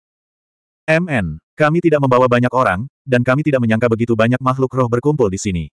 Bahkan mungkin tidak mudah untuk membuka jalan masuk. Xie Jingxuan berpikir sejenak dan berkata, kita perlu menggunakan Tu Zenano dan yang lainnya juga. Apa yang Nona inginkan dari mereka? Liang Zong bertanya dengan hormat. Pancing sebagian makhluk roh yang berkumpul di sana. Akan lebih baik jika mereka bisa membunuh sebagian dan berbagi tekanan dengan kita. Ekspresi Xie Jingxuan tampak acuh tak acuh saat dia berkata dengan tenang, kita tidak bisa menggunakan terlalu banyak energi pada binatang buas itu. Kita tidak bisa membuang terlalu banyak energi. Binatang pemakan jiwa adalah tujuan kita dan misi terpenting dari perjalanan ini. Para junior itu terlalu lemah. Jika mereka benar-benar membuat marah binatang buas, kerugiannya akan besar. Liang Zong berkata dengan khawatir. Di jalan ini setiap orang harus maju dengan susah payah dan menghadapi tantangan kematian setiap saat. Saya tahu sangat sulit bagi mereka untuk menggerakkan binatang roh, tetapi kami tidak punya metode yang lebih baik. Xie Jingxuan sedikit tidak berdaya. Ia berpikir sejenak lalu berkata, saat aku berusia 10 tahun, aku bertarung sendirian di tingkat pertama medan perang neter. Aku telah berkali-kali melewati gerbang neraka. Tanpa mengalami baptisan darah, orang-orang ini tidak dapat bertahan hidup dan tidak akan pernah dapat melangkah ke aula asura kegelapan selama sisa hidup mereka. Mereka tidak dapat membantu kita. Dipahami, Liang Zong mendengarkan sebentar, mendesah dalam hati, lalu mengangguk pelan. Aku akan mengaturnya. Enam jam kemudian. Siong Ba dari Asosiasi Api Merah, Nanwo dari Sekte Bulan Air, Yan Ziqian yang baru saja selesai mengobati lukanya, Tu Ze, Zuoqian, dan yang lainnya semuanya muncul di area ini. Para elit dari seluruh penjuru berkumpul. Qin Lai dan Gao Yu juga ada di sana. Mereka semua tampak terkejut saat melihat Liang Zong yang telah mengumpulkan semua orang. Awalnya, kami tidak berencana untuk membiarkanmu berpartisipasi, tetapi situasinya tidak baik. Kami perlu meminjam kekuatanmu dan memintamu membantu mengurangi tekanan dari makhluk roh. Liang Zong datang ke depan keempat elit dan duduk tinggi di binatang neter mendalam. Ia berkata, seekor binatang pemakan jiwa entah bagaimana lolos dari medan perang neter. Memanfaatkan pertempuran yang kacau antara binatang roh dan praktisi bela diri dari pegunungan Arktik, binatang pemakan jiwa ini melahap jiwa dan berevolusi dengan cepat, kekuatannya meningkat dengan cepat. Binatang pemakan jiwa adalah binatang roh dari medan perang neter. Binatang pemakan jiwa ini memiliki kemampuan untuk berevolusi dengan cepat. Semakin banyak jiwa yang ditelannya, semakin kuat jadinya. Binatang ini dapat berevolusi hampir tanpa batas. Ketika binatang pemakan jiwa mencapai peringkat tiga, ia memiliki kemampuan untuk membelah jiwanya. Jiwa utamanya dapat terbagi menjadi puluhan jiwa yang terbelah yang dapat meninggalkan tubuh binatang itu untuk mencari makanan dan menelan lebih banyak jiwa. Awan hitam yang dilihat Gao Yu adalah salah satu jiwa yang terbelah dari binatang pemakan jiwa. Ia memakan jiwa-jiwa yang baru saja mati untuk meningkatkan kekuatannya. Akhir-akhir ini, para makhluk roh dan praktisi bela diri dari pegunungan Arktik sering bertempur. Banyak makhluk roh yang mati, dan banyak praktisi bela diri kita yang dikorbankan. Kesempatan langka ini direbut oleh binatang pemakan jiwa ini. Ketika binatang pemakan jiwa ini keluar dari medan perang neter, ia hanya berada di peringkat satu. Sekarang, ia telah mencapai peringkat tiga dan maju menuju peringkat empat. Ia menjadi semakin menakutkan. Liang Zong menunjuk ke arah kedalaman hutan batu, ekspresinya sangat berat. Saat ini, ia berada di kedalaman hutan batu dan harusnya bisa menembus ke peringkat empat dalam waktu dekat. Jika kita tidak dapat membunuhnya sebelum mencapai tingkat keempat, setelah ia mencapai tingkat keempat dan memperoleh kemampuan baru, akan sangat sulit untuk membunuhnya, dan ia akan menjadi sumber masalah yang tidak ada habisnya di masa mendatang. 88. Nether Battlefield, Soul Devouring Beast, peringkat 3, peringkat 4. Qin Lai, Gao Yu, dan yang lainnya mendengarkan dengan penuh perhatian penjelasan Liang Zong, dan ekspresi mereka berangsur-angsur menjadi serius. Tu Ze, Zuo Sinanuo, Yan Ziqian, Xiongba, dan yang lainnya tampaknya tahu sedikit tentang asal-usul binatang pemakan jiwa dan telah mendengar sedikit tentang situasi di dalam medan perang neter. Di tengah-tengah perkenalan Liang Zong, hati mereka sudah menjadi dingin, dan wajah mereka pucat pasi. Mereka jauh lebih takut daripada Qin Lai dan Gao Yu. Mengenai medan perang neter dan binatang pemakan jiwa, Saudari Qian, apakah kamu tahu sedikit? Qin Lai bertanya dengan suara rendah. Setelah Tu Ze dan Zuo Qian tiba, dia berinisiatif untuk mendekati Tu Ze. Saat ini, dia berada tepat di samping Tu Ze dan Zuo Qian. Dia tahu bahwa Zuo Qian lahir di Aula Asura Kegelapan dan tumbuh di Aula Asura Kegelapan, jadi dia berpikir bahwa Zuo Qian harus tahu sedikit tentang medan perang Neter dan Aula Asura Kegelapan. Seperti yang diharapkan, Zuo Qian mengangguk sedikit, kekhawatiran berkumpul di wajahnya yang cerah. Ada banyak ruang kecil yang tersebar di sekitar alam roh, dan di ruang-ruang kecil itu, ada banyak makhluk jahat yang menakutkan, ras asing yang kuat, dan binatang buas yang menakutkan. Ruang-ruang itu dikatakan ada dengan mengandalkan alam roh. Itulah sebabnya mereka memiliki lorong-lorong menuju alam roh. Makhluk-makhluk jahat yang kuat, ras-ras asing yang menakutkan, dan binatang-binatang buas ingin menyerang alam roh dan mengambil alih tanah-tanahnya yang luas kapan saja. Nether Realm adalah ruang kecil di pinggiran Spirit Realm. Makhluk jahat aktif di dalamnya. Medan perang Nether adalah lorong antara alam Nether dan kita. Untuk menghentikan makhluk jahat dari alam Nether memasukinya, Aula Asura Kegelapan, Lembah Kisah, Menara Bayangan Kegelapan, dan pasukan tingkat besi hitam lainnya akan mengirim orang ke medan perang Nether untuk membunuh makhluk jahat yang mencoba memasuki alam roh melalui medan perang Nether. Medan perang Nether adalah lorong yang menghubungkan alam Nether dan alam roh. Selama ratusan tahun, Aula Asura Kegelapan, Lembah Kisah, Menara Bayangan Kegelapan, dan pasukan tingkat besi hitam lainnya telah menggunakan medan perang Nether. Banyak seniman bela diri yang dilemparkan ke dalamnya. Di medan perang Neter, pertempuran antara para prajurit dan makhluk jahat tidak pernah berhenti, dan banyak prajurit yang tewas dalam pertempuran. Binatang pemakan jiwa disebut-sebut sebagai binatang roh dari alam Neter. Binatang roh itu sangat mengerikan dan memiliki kemampuan untuk berevolusi dengan cepat. Selama ia menelan cukup banyak jiwa, binatang pemakan jiwa dapat dengan cepat menerobos batasannya dan memasuki level baru. Binatang pemakan jiwa tingkat tiga memiliki kemampuan untuk membelah jiwa. Mereka dapat membentuk banyak fragmen jiwa untuk berburu makanan. Namun, selama tubuh utama dan jiwa utama binatang pemakan jiwa tingkat tiga hancur, pecahan jiwa binatang pemakan jiwa tingkat tiga juga akan mati. Oleh karena itu, binatang pemakan jiwa tingkat tiga masih mudah dibunuh. Akan tetapi, begitu binatang pemakan jiwa berhasil naik ke peringkat empat, binatang pemakan jiwa tingkat empat akan menjadi sangat sulit untuk dihadapi. Bahkan jika jiwa utama dan tubuh utama terbunuh, selama seberkas binatang pemakan jiwa berhasil melarikan diri, binatang pemakan jiwa masih akan dapat pulih dengan cepat dengan melahap jiwa. Oleh karena itu, relatif mudah untuk membunuh binatang pemakan jiwa sebelum mencapai peringkat tiga. Setelah berhasil menembus orde keempat, akan beberapa kali lebih sulit untuk membunuhnya. Suara Zuoqian pada awalnya tidak keras, tetapi ketika dia menyadari bahwa dia sedang berbicara, Liang Song sudah berhenti. Setelah memintanya menjelaskan situasinya dengan keras, suaranya perlahan menjadi lebih keras. Oleh karena itu, orang-orang Xiong Bananwo dan Yan Ziqian juga telah dengan jelas mendengar aspek mengerikan dari medan perang neter dan binatang pemakan jiwa. Dia memiliki pemahaman yang lebih mendalam tentang hal itu. Binatang pemakan jiwa tingkat tiga tidaklah cukup kuat. Ia tidak dapat secara langsung menyerap jiwa binatang roh dan praktisi bela diri. Ia hanya dapat menggunakan pecahan jiwanya untuk berkeliaran dan diam-diam menyerap jiwa yang muncul melalui pertempuran antara praktisi bela diri dan binatang roh. Liang Zong menambahkan bahwa begitu binatang pemakan jiwa berhasil menembus peringkat empat, ia dapat langsung menyerap jiwa praktisi bela diri tingkat rendah dan binatang roh. Jika seorang praktisi bela diri alam pemurnian, alam pembukaan Natal, atau binatang roh peringkat satu atau dua tidak mengolah seni roh khusus atau memiliki artefak roh yang khusus melindungi jiwa, mereka tidak akan memiliki perlawanan di depan pecahan jiwanya. Jiwa mereka akan langsung tersedot dan mati. Ketika dia mengatakan ini, ekspresi semua orang menjadi lebih buruk, dan mata mereka menunjukkan ketakutan yang jelas.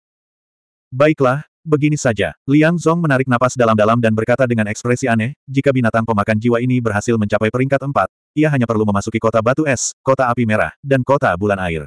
Dalam beberapa hari, ketiga kota ini akan menjadi kota mati, dan semua praktisi bela diri dan manusia akan mati karena jiwa mereka dilahap.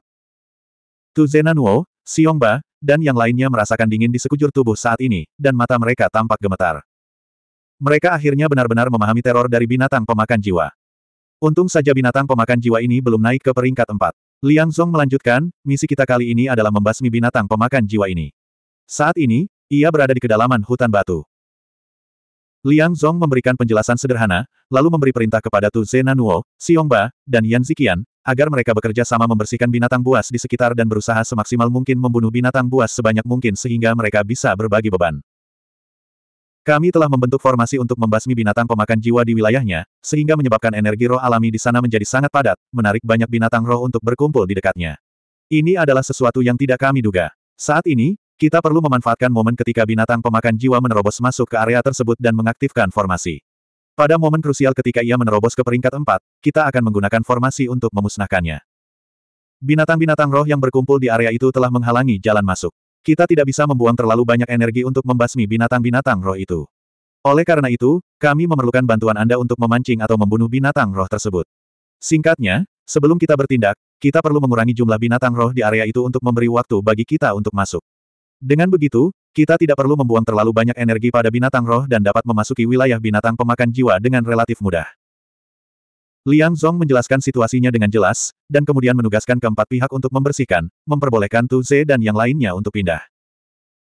Sebelum kami masuk, kami tidak punya kegiatan apa pun, jadi Qin Lai bertanya pada Liang Zong, apakah kami juga bisa pergi membersihkan binatang buas roh.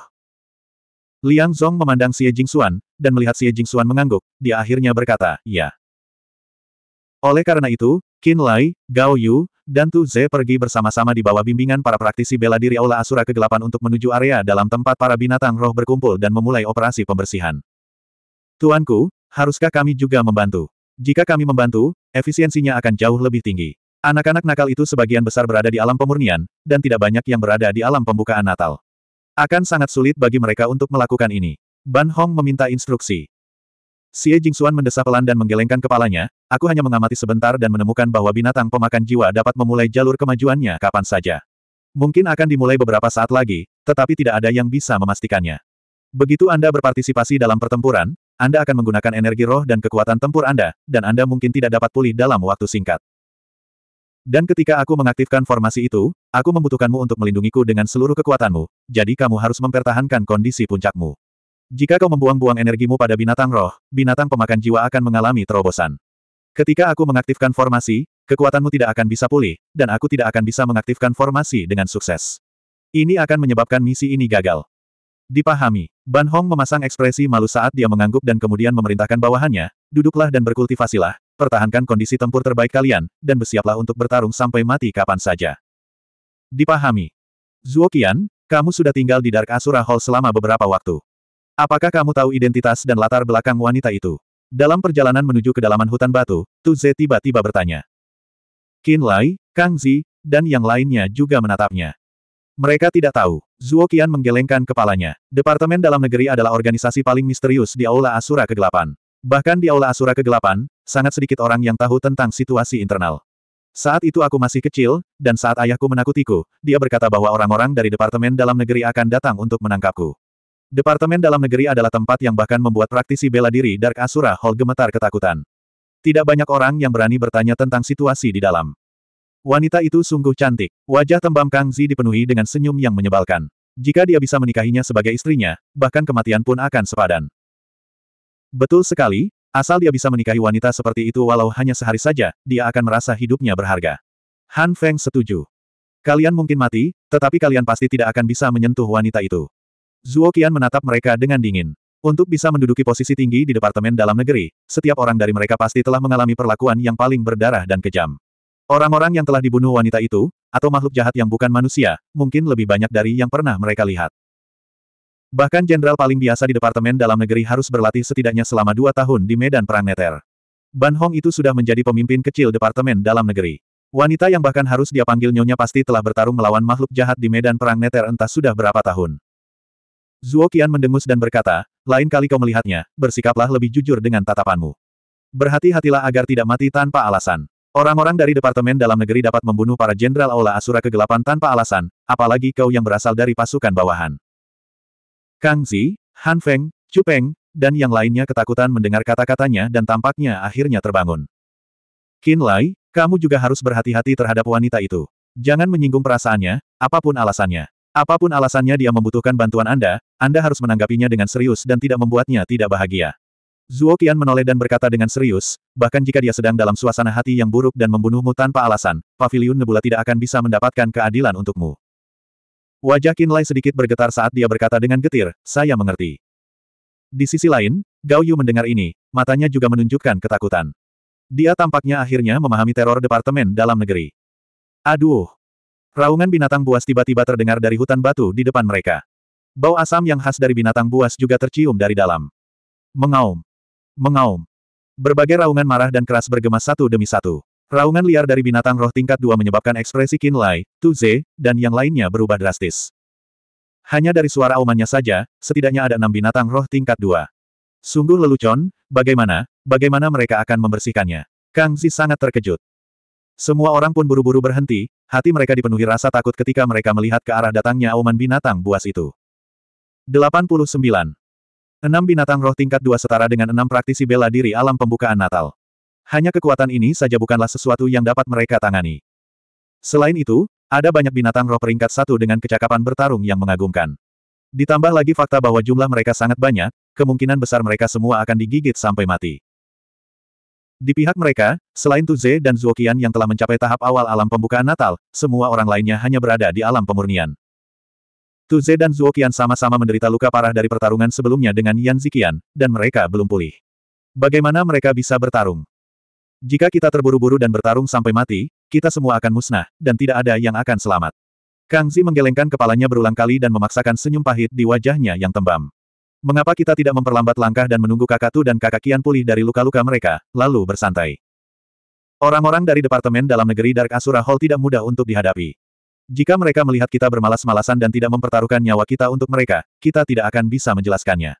Mereka dapat menghukum kita secara langsung atau bahkan membunuh kita saat itu juga. Ekspresi Zuo Qian serius. Melarikan diri jelas bukan pilihan, jadi dia hanya bisa memikirkan cara lain. Oh, Benar, mereka menyebutkan sebelumnya bahwa memancing binatang buas juga mungkin dilakukan. Mereka hanya ingin memasuki wilayah dalam, dan binatang roh menghalangi jalan mereka. Selama kita dapat mengusir binatang roh itu, misi kita akan dianggap selesai. Ya, Zuo Qian benar. Tuze menyela, melawan binatang roh secara langsung sama saja dengan mencari kematian. Kita akan menggunakan keakraban kita dengan hutan batu di luar untuk memancing binatang roh dan memancing mereka keluar. Qin Lai juga mengangguk setuju.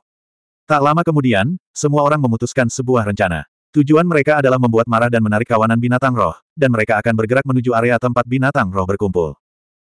Setengah jam kemudian, kelompok itu tiba di belakang sebuah batu besar dan diam-diam menjulurkan kepala mereka. Puluhan binatang roh berkumpul di tanah batu yang cukup luas, dan kebanyakan dari mereka adalah binatang roh tingkat satu. Seekor ular piton jiwa es, dua binatang karang emas, dua badak tanduk naga, dan seekor kera berambut emas bercampur di antara binatang roh tingkat satu. Keenam binatang roh tingkat dua ini semuanya berada di percabangan jalan yang lebih dekat ke kedalaman hutan batu. Enam binatang roh tingkat kedua semuanya berjongkok dengan tertib, seolah-olah mereka tengah menghirup dan mengembuskan energi spiritual dengan cara yang unik bagi binatang roh. Gumpalan kabut putih mengalir masuk dan keluar dari mulut dan hidung mereka. Daerah tempat mereka berada memiliki energi spiritual yang relatif padat. Enam binatang roh tingkat dua ini menempati tempat terbaik, yang paling dekat dengan kedalaman hutan batu. Binatang roh kelas satu yang lain menyebar dan menjaga jarak sejauh mungkin dari mereka, seakan-akan mereka tidak boleh mendekat. Sungguh padatnya energi spiritual langit dan bumi. Setelah Qin Lai datang, dia hanya perlu mengendus sebelum ekspresinya langsung berubah sedikit. Matanya berkedip dengan cahaya aneh saat dia berpikir dalam hati, tablet juling adalah energi spiritual langit dan bumi yang dikumpulkan oleh tablet juling. Dalam formasi aneh yang diatur Xie Jingxuan untuk memurnikan binatang pemakan jiwa, tablet juling pasti telah ditempatkan secara diam-diam di sana. Karena tablet juling, banyak energi spiritual langit dan bumi berkumpul di sini. Dia langsung mengerti. Ayo kita lakukan, Gerutu Tuze.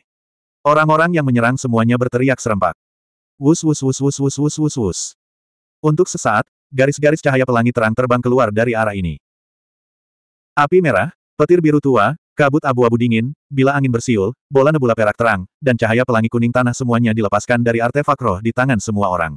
Mereka mengembun menjadi garis-garis cahaya pelangi terang yang melesat ke arah sekelompok binatang roh. Mengaum. Raungan binatang buas meledak. Semua binatang buas yang berkultivasi dengan bantuan energi spiritual surga dan bumi menjadi gila karena rasa sakit. Mata binatang buas yang haus darah dan kejam itu mencari ke mana-mana dan segera mengunci Tuze, Qin Lai dan yang lainnya yang berteriak keras. Kemudian, binatang buas itu meraung marah dan bergerak. Tubuh keenam binatang roh tingkat dua juga diserang oleh badai serangan. Bola nebula dan bila angin yang dibentuk oleh pedang panjang Tuze dan cambuk tulang naga Zuo Qian bahkan lebih kuat.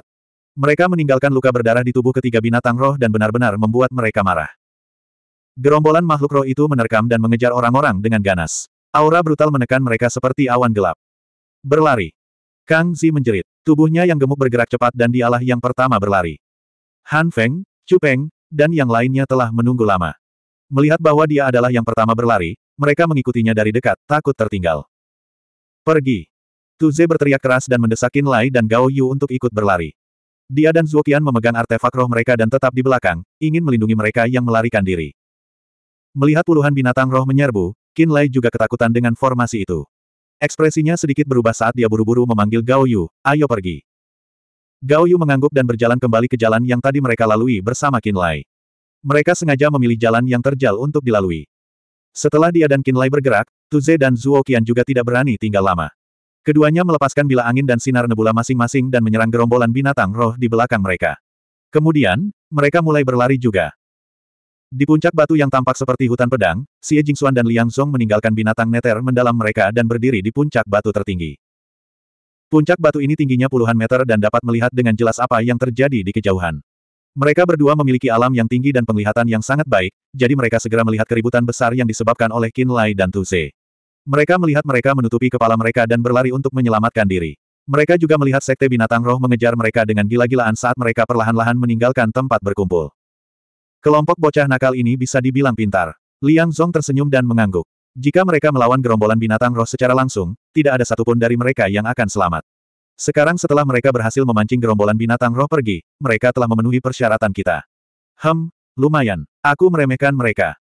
Lihat ke sana, Xie Jingxuan menunjuk ke arah lain. Seperti yang diduga, orang-orang dari Crimson Flame Association semuanya berpikiran satu arah. Mereka tidak akan menggunakan otak mereka jika mereka tidak menderita kerugian. Liang Zong melihat ke arah yang ditunjuk wanita itu dan wajahnya tampak aneh. Dia tidak tahu apakah harus tertawa atau menangis. Xiong Ba ini benar-benar sama dengan kakek dan ayahnya. Dari sini, mereka samar-samar dapat melihat Siongba dari Asosiasi Api Merah menyerbu langsung ke tengah gerombolan binatang roh dan bertarung dengan mereka. Meskipun binatang roh di sana tidak sekuat yang pernah ditemui Lai dan lainnya, masih ada empat binatang roh tingkat dua dan lebih dari lima puluh binatang roh tingkat satu. Kelompok Siongba jelas-jelas tidak diuntungkan saat melawan gerombolan binatang buas itu sendirian. Jika mereka tidak mundur, Crimson Flame Association akan segera menderita korban. Otak mereka tidak bekerja dengan baik. Xie Jingxuan mengerutkan kening dan berkata, Liang Zong mengangguk dan mendesah. Kelompok ini pasti akan menderita kerugian besar. Asosiasi Api Merah telah membuat kesalahan dengan membiarkan Xiong Ba memimpin kelompok. Sateret Ice Manor dan Water Moon Sek memiliki strategi yang sama dengan Nebula Pavilion. Mereka pintar untuk tidak melawan makhluk roh sampai mati. Melihat ke arah aktivitas di kejauhan, Xie Jingxuan melihat Yan Ziqian dan Nanuo bergerak setelah beberapa saat. Dia mengangguk sedikit. Nanuo tidak buruk. Dia adalah yang terkuat dari keempatnya, dan dia juga merawat saudara perempuannya dengan baik. Dia bisa melihat jauh ke depan. Dia melihat bahwa meskipun Yan Ziqian dan Nanuo memiliki strategi yang sama untuk mengusir gerombolan binatang buas, masih ada beberapa perbedaan dalam detailnya ketika menyangkut tindakan sebenarnya. Setelah Yan Ziqian dan yang lainnya membuat marah gerombolan binatang roh, Yan Ziqian dan Feng Kai telah melarikan diri terlebih dahulu dan mengabaikannya. Mereka jelas-jelas orang yang egois. Nanuo berbeda. Dia, seperti Tuze dan Zuoqian, tetap tinggal atas kemauannya sendiri. Dia menunggu saudara perempuannya yang berada di alam yang lebih rendah untuk pergi terlebih dahulu sebelum dia melarikan diri. Xie Jingxuan dan Liang Zong telah melihat pergerakan Pavilion Nebula, Asosiasi Api Merah, Istana Es Hancur, dan Sekte Bulan Air dengan jelas. Mereka memiliki pemahaman umum tentang kepribadian dan perilaku mereka. Setelah menonton sebentar, keduanya memusatkan perhatian mereka pada Qin Lai dan Tu Ze, dengan fokus pada Qin Lai dan Gao Yu. Gao Yu mengolah seni roh khusus, dan perilakunya juga sangat kejam. Ada rasa racun di tulangnya. Liang Zong mempertimbangkan kata-katanya. Namun, anak ini tidak mudah bergaul dan sepertinya suka bertindak sendiri. Dia tidak pandai berkomunikasi, dan kerja sama timnya agak kurang. Melihat Xie Jingxuan tidak mengatakan apa pun, Liang Zong sedikit mengernyit dan berkata sambil berpikir, adapun Qin Lai, aku tidak bisa melihatnya. Men, Xie Jingxuan menoleh, seolah menunggu dia melanjutkan. Sepanjang perjalanan, Qin Lai sangat pendiam, seperti anak yang sangat pendiam. Kami bertemu dengannya beberapa kali di toko Li. Perilakunya sangat normal, ucapannya terukur, dan tindakannya pantas. Dia seperti anak tetangga. Sekilas, tidak ada yang istimewa darinya. Setelah jeda, Liang Zong melanjutkan, Namun, saat dia bertarung, dia akan tiba-tiba menjadi ganas dan ganas, seperti binatang buas yang telah lama dikekang tiba-tiba dilepaskan. Dia tidak akan menunjukkan belas kasihan, dan serangannya akan ganas seperti badai. Begitu dia bertarung, dia seperti berubah total. Dia seperti tiba-tiba berubah menjadi binatang buas. Tingkah lakunya sangat berbeda dengan Pingri, sangat aneh. Mungkin dia yang bertempur itu adalah dia yang sebenarnya, jati dirinya yang asli. Dia di Pingri mungkin hanya penyamaran. Xie Jingxuan tiba-tiba berbicara. Kata-katanya mengejutkan dan membingungkan Liang Zong. Tepat saat Liang Zong hendak bertanya, dia melanjutkan, aku berbicara dengan Tu Mo sebelumnya. Dia mengatakan bahwa Qin Lai ini berasal dari keluarga Ling, pasukan bawahan Pavilion Nebula. Dia pergi ke keluarga Ling bersama kakeknya. Rupanya, dia tidak ingat apa yang terjadi sepuluh tahun lalu. Bagian ingatannya itu tampaknya telah hilang sepenuhnya. Pada titik ini, dia mengerutkan kening dan kemudian berkata, penampilan yang ditunjukkan seseorang dalam pertempuran biasanya adalah diri yang paling nyata. Oleh karena itu, Qin Lai yang ganas dan buas dalam pertempuran mungkin adalah Qin Lai yang sebenarnya, karakter yang telah ia kembangkan selama 10 tahun terakhir. Liang Zong tercengang. Jika memang begitu, maka bocah Qin Lai ini benar-benar tidak sederhana. Aku berani mengatakan bahwa orang dengan temperamen yang kasar dan buas seperti itu jelas bukan berasal dari keluarga biasa. MN, Xie Jingxuan mengangguk. Sayang sekali dia tidak mengingat masa lalu. Kalau tidak, aku bisa bertanya kepadanya tentang hal itu. Tapi sekarang, Aku hanya berharap bahwa ketika kita membutuhkannya, dia akan dapat memanggil petir dari sembilan surga seperti terakhir kali. Dengan cara ini, dia akan dapat membantu kita. Jika dia tidak bisa, dari mana pun dia berasal, dia tidak memiliki nilai apa pun bagi kita. Itu benar. 90. Puff. Bola es berwarna perak cemerlang melesat keluar dari mulut ular piton jiwa es. Saat bola es itu menggelinding, energi dingin menyebar ke mana-mana. Bola itu meledak di pilar batu di belakang Kinlay, dan terdengar gemuruh guntur yang mengejutkan. Ular piton jiwa es tingkat dua panjangnya 6 hingga 7 meter dan setebal pinggang seseorang. Matanya berkilat tajam saat mengejar. Ular piton jiwa es tingkat dua itu panjangnya 6 hingga 7 meter dan setebal pinggang seseorang. Kinlay tiba-tiba berbalik dan menatap ke arah bola es yang meledak dengan cahaya aneh di matanya.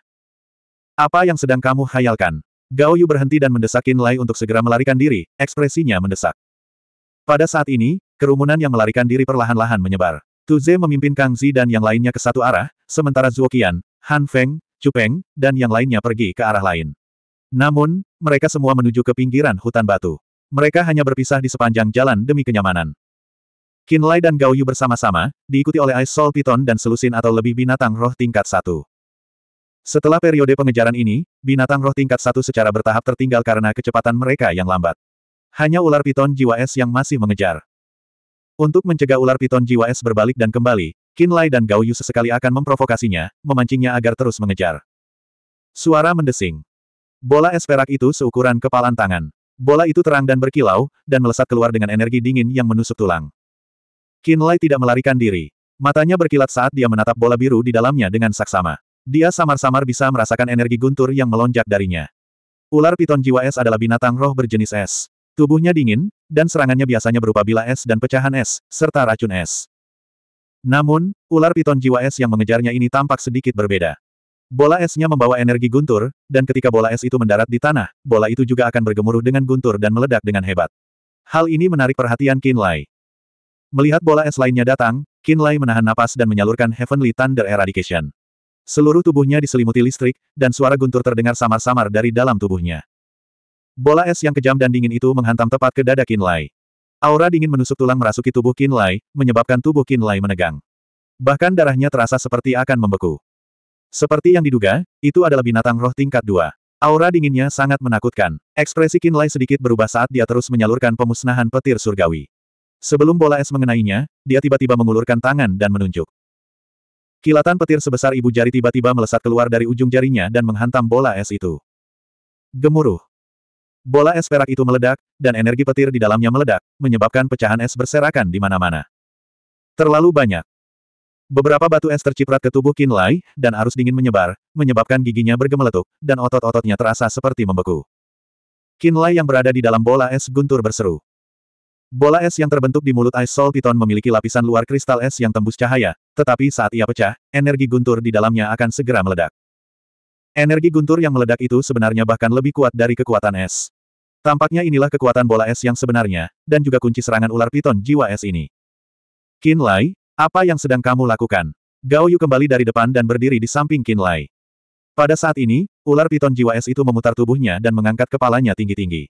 Ia juga tiba di depan Qin Lai, dan mata hijaunya menampakkan cahaya yang kejam dan ganas. Ular piton jiwa es ini agak istimewa. Bola es yang dimuntahkannya mengandung kekuatan guntur. Ekspresi Qin Lai gembira, jadi inti binatangnya pasti mengandung kekuatan guntur juga. Mungkin saja tubuh binatangnya mengandung material roh tipe guntur. Aku akan membunuh ular piton jiwa es ini.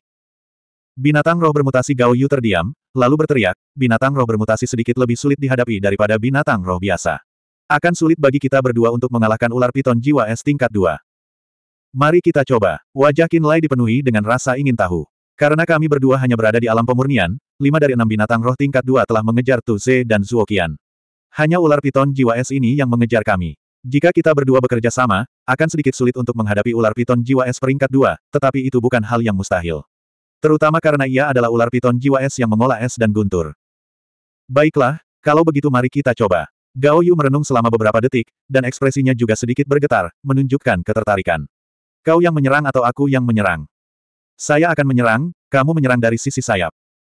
Qin Lai menarik napas dalam-dalam, mengeluarkan patung kayu itu, dan menyalurkan Heavenly Thunder Eradication. Suara listrik berderak datang dari dalam patung kayu itu, lalu jaring listrik halus terbentuk di kepala patung itu. Boom booming. Suara guntur terdengar dari dalam tulangnya. Pada saat ini, semua darah dan sel dalam tubuh Qin Lai tampaknya telah diaktifkan. Sambil memegang patung kayu, dia tiba-tiba menyerbu ke arah ular piton jiwa es. Ular piton jiwa es mengeluarkan lolongan aneh. Ia membuka mulutnya yang bau, dan bola es perak lainnya terbentuk. Bola es itu dipenuhi dengan energi dingin, dan ia mengeluarkan cahaya es yang menyilaukan saat ia meluncur. Qinlai tidak menghindar maupun menghindar. Ia melambaikan patung kayu itu untuk menyambut bola es, dan jaring listrik padat yang dibentuk oleh patung kayu itu tiba-tiba menyusut. Semua petir itu berkumpul menjadi satu, berubah menjadi sambaran petir setebal lengan, dan dengan dahsyat menyambar bagian atas bola es itu. Ledakan. Bola es itu tiba-tiba meledak, dan serpihan es beterbangan ke mana-mana. Energi guntur di dalamnya meledak, dan gelombang guntur yang bergulung-gulung menelan Qinlai. Bum bum bum. Suara guntur terdengar dari tubuh Qinlai. Itu adalah ledakan energi guntur di dalam bola es, dan tiba-tiba melonjak bersamaan dengan ledakan bola es dan guntur. Jika Gao Yu adalah penyerang utama, bahkan jika dia tahu keunikan bola es, energi guntur masih akan meledak ke dalam tubuhnya setelah dia memecahkan es bola es dan guntur. Gao Yu, yang berada di alam yang sama dengan Qin Lai, pasti akan langsung terluka jika energi ledakan guntur memasuki tubuhnya. Dia bahkan mungkin terluka parah dan kehilangan kemampuan untuk bertarung lagi. Namun, Qin Lai, yang telah bersusah payah mengolah kekuatan guntur dan kilat selama bertahun-tahun, dapat menahan serbuan energi guntur dan kilat dari surga ke-9. Tubuhnya telah lama ditempa hingga menjadi sangat kuat, dan ia telah menjadi orang aneh yang dapat menahan gempuran guntur dan kilat. Oleh karena itu, energi ledakan guntur dan kilat tidak dapat melukainya sama sekali. Sebaliknya, menyusul ledakan guntur dan kilat di tubuhnya, gelombang energi guntur yang membawa aura agak dingin, setelah meresap ke dalam tubuhnya, benar-benar menghilang ke dalam tulang dan dagingnya. Perasaan sejuk dan nyaman menyebabkan pikiran Qin Lai bergetar, dan dia dapat dengan jelas merasakan bahwa energi guntur di dalam tubuhnya telah meningkat. Dia segera menyadari bahwa penilaiannya sangat tepat. Bagi praktisi bela diri biasa, ular piton jiwa es yang bermutasi ini akan berakibat fatal, dan dia adalah lawan yang paling cocok. Wus-wus. Bola es dan guntur lainnya menyerbu dan membombardir kepalanya. Ular piton jiwa es itu mendesis aneh, dan tubuhnya yang setebal ember air itu berputar dengan lincah, sebenarnya berusaha melilit tubuh Qin Lai. Gao Yu, jangan biarkan petir itu melilitku. Qin Lai berteriak keras, mundur, dan melambaikan tangannya untuk memadatkan sambaran petir lainnya, menusukkannya dengan akurat ke bola es dan guntur. Ketika bola es dan guntur itu meledak, dia langsung menghentikan tubuhnya yang mundur, bahkan mengambil inisiatif untuk maju dan menahan kekuatan gelombang guntur kedua. Bersamaan dengan suara guntur, gelombang energi guntur meledak, dan energi guntur yang dahsyat menghantam tubuhnya. Kemudian, suara guntur dengan cepat padam, dan energi guntur menghilang dengan tenang. Guntur dan kilat dikatakan sama, tetapi sebenarnya keduanya adalah dua jenis energi yang berbeda. Guntur adalah guntur yang dahsyat, dan kilat adalah listrik yang menyala-nyala. Kedua jenis energi itu sebenarnya tidak sama, tetapi biasanya saling melengkapi, dan keduanya berada di kedalaman langit kesembilan. Dulu, ketika dia mengolah pemusnahan petir surgawi, dia menarik lebih banyak energi petir, dan energi petirnya sedikit lebih rendah. Tubuhnya tampaknya sedikit kurang mampu menampung energi petir yang dahsyat. Merasakan energi guntur memasuki tubuhnya, dia memahaminya dengan saksama, dan pemahamannya tentang pemberantasan guntur surgawi pun menjadi lebih jelas. Heavenly Thunder Eradication menghasilkan guntur dan kilat. Itu adalah gabungan guntur dan kilat, dua energi paling kejam dan ganas di dunia. Petir digunakan untuk meningkatkan kekuatan guntur, dan guntur digunakan untuk meningkatkan kekuatan listrik. Dengan menggabungkan kedua energi ini, terbentuklah serangan yang sangat dahsyat. Namun, selama bertahun-tahun ia mengolah pemusnahan petir surgawi, sebagian besar energi yang ia kumpulkan dari petir dan guntur adalah kekuatan guntur. Kekuatan guntur dan kilat jelas jauh lebih lemah. Formasi aneh di dalam Gunung Herb, yang dijaga oleh keluarga Ling, dapat mengarahkan petir dan mengumpulkan petir di langit.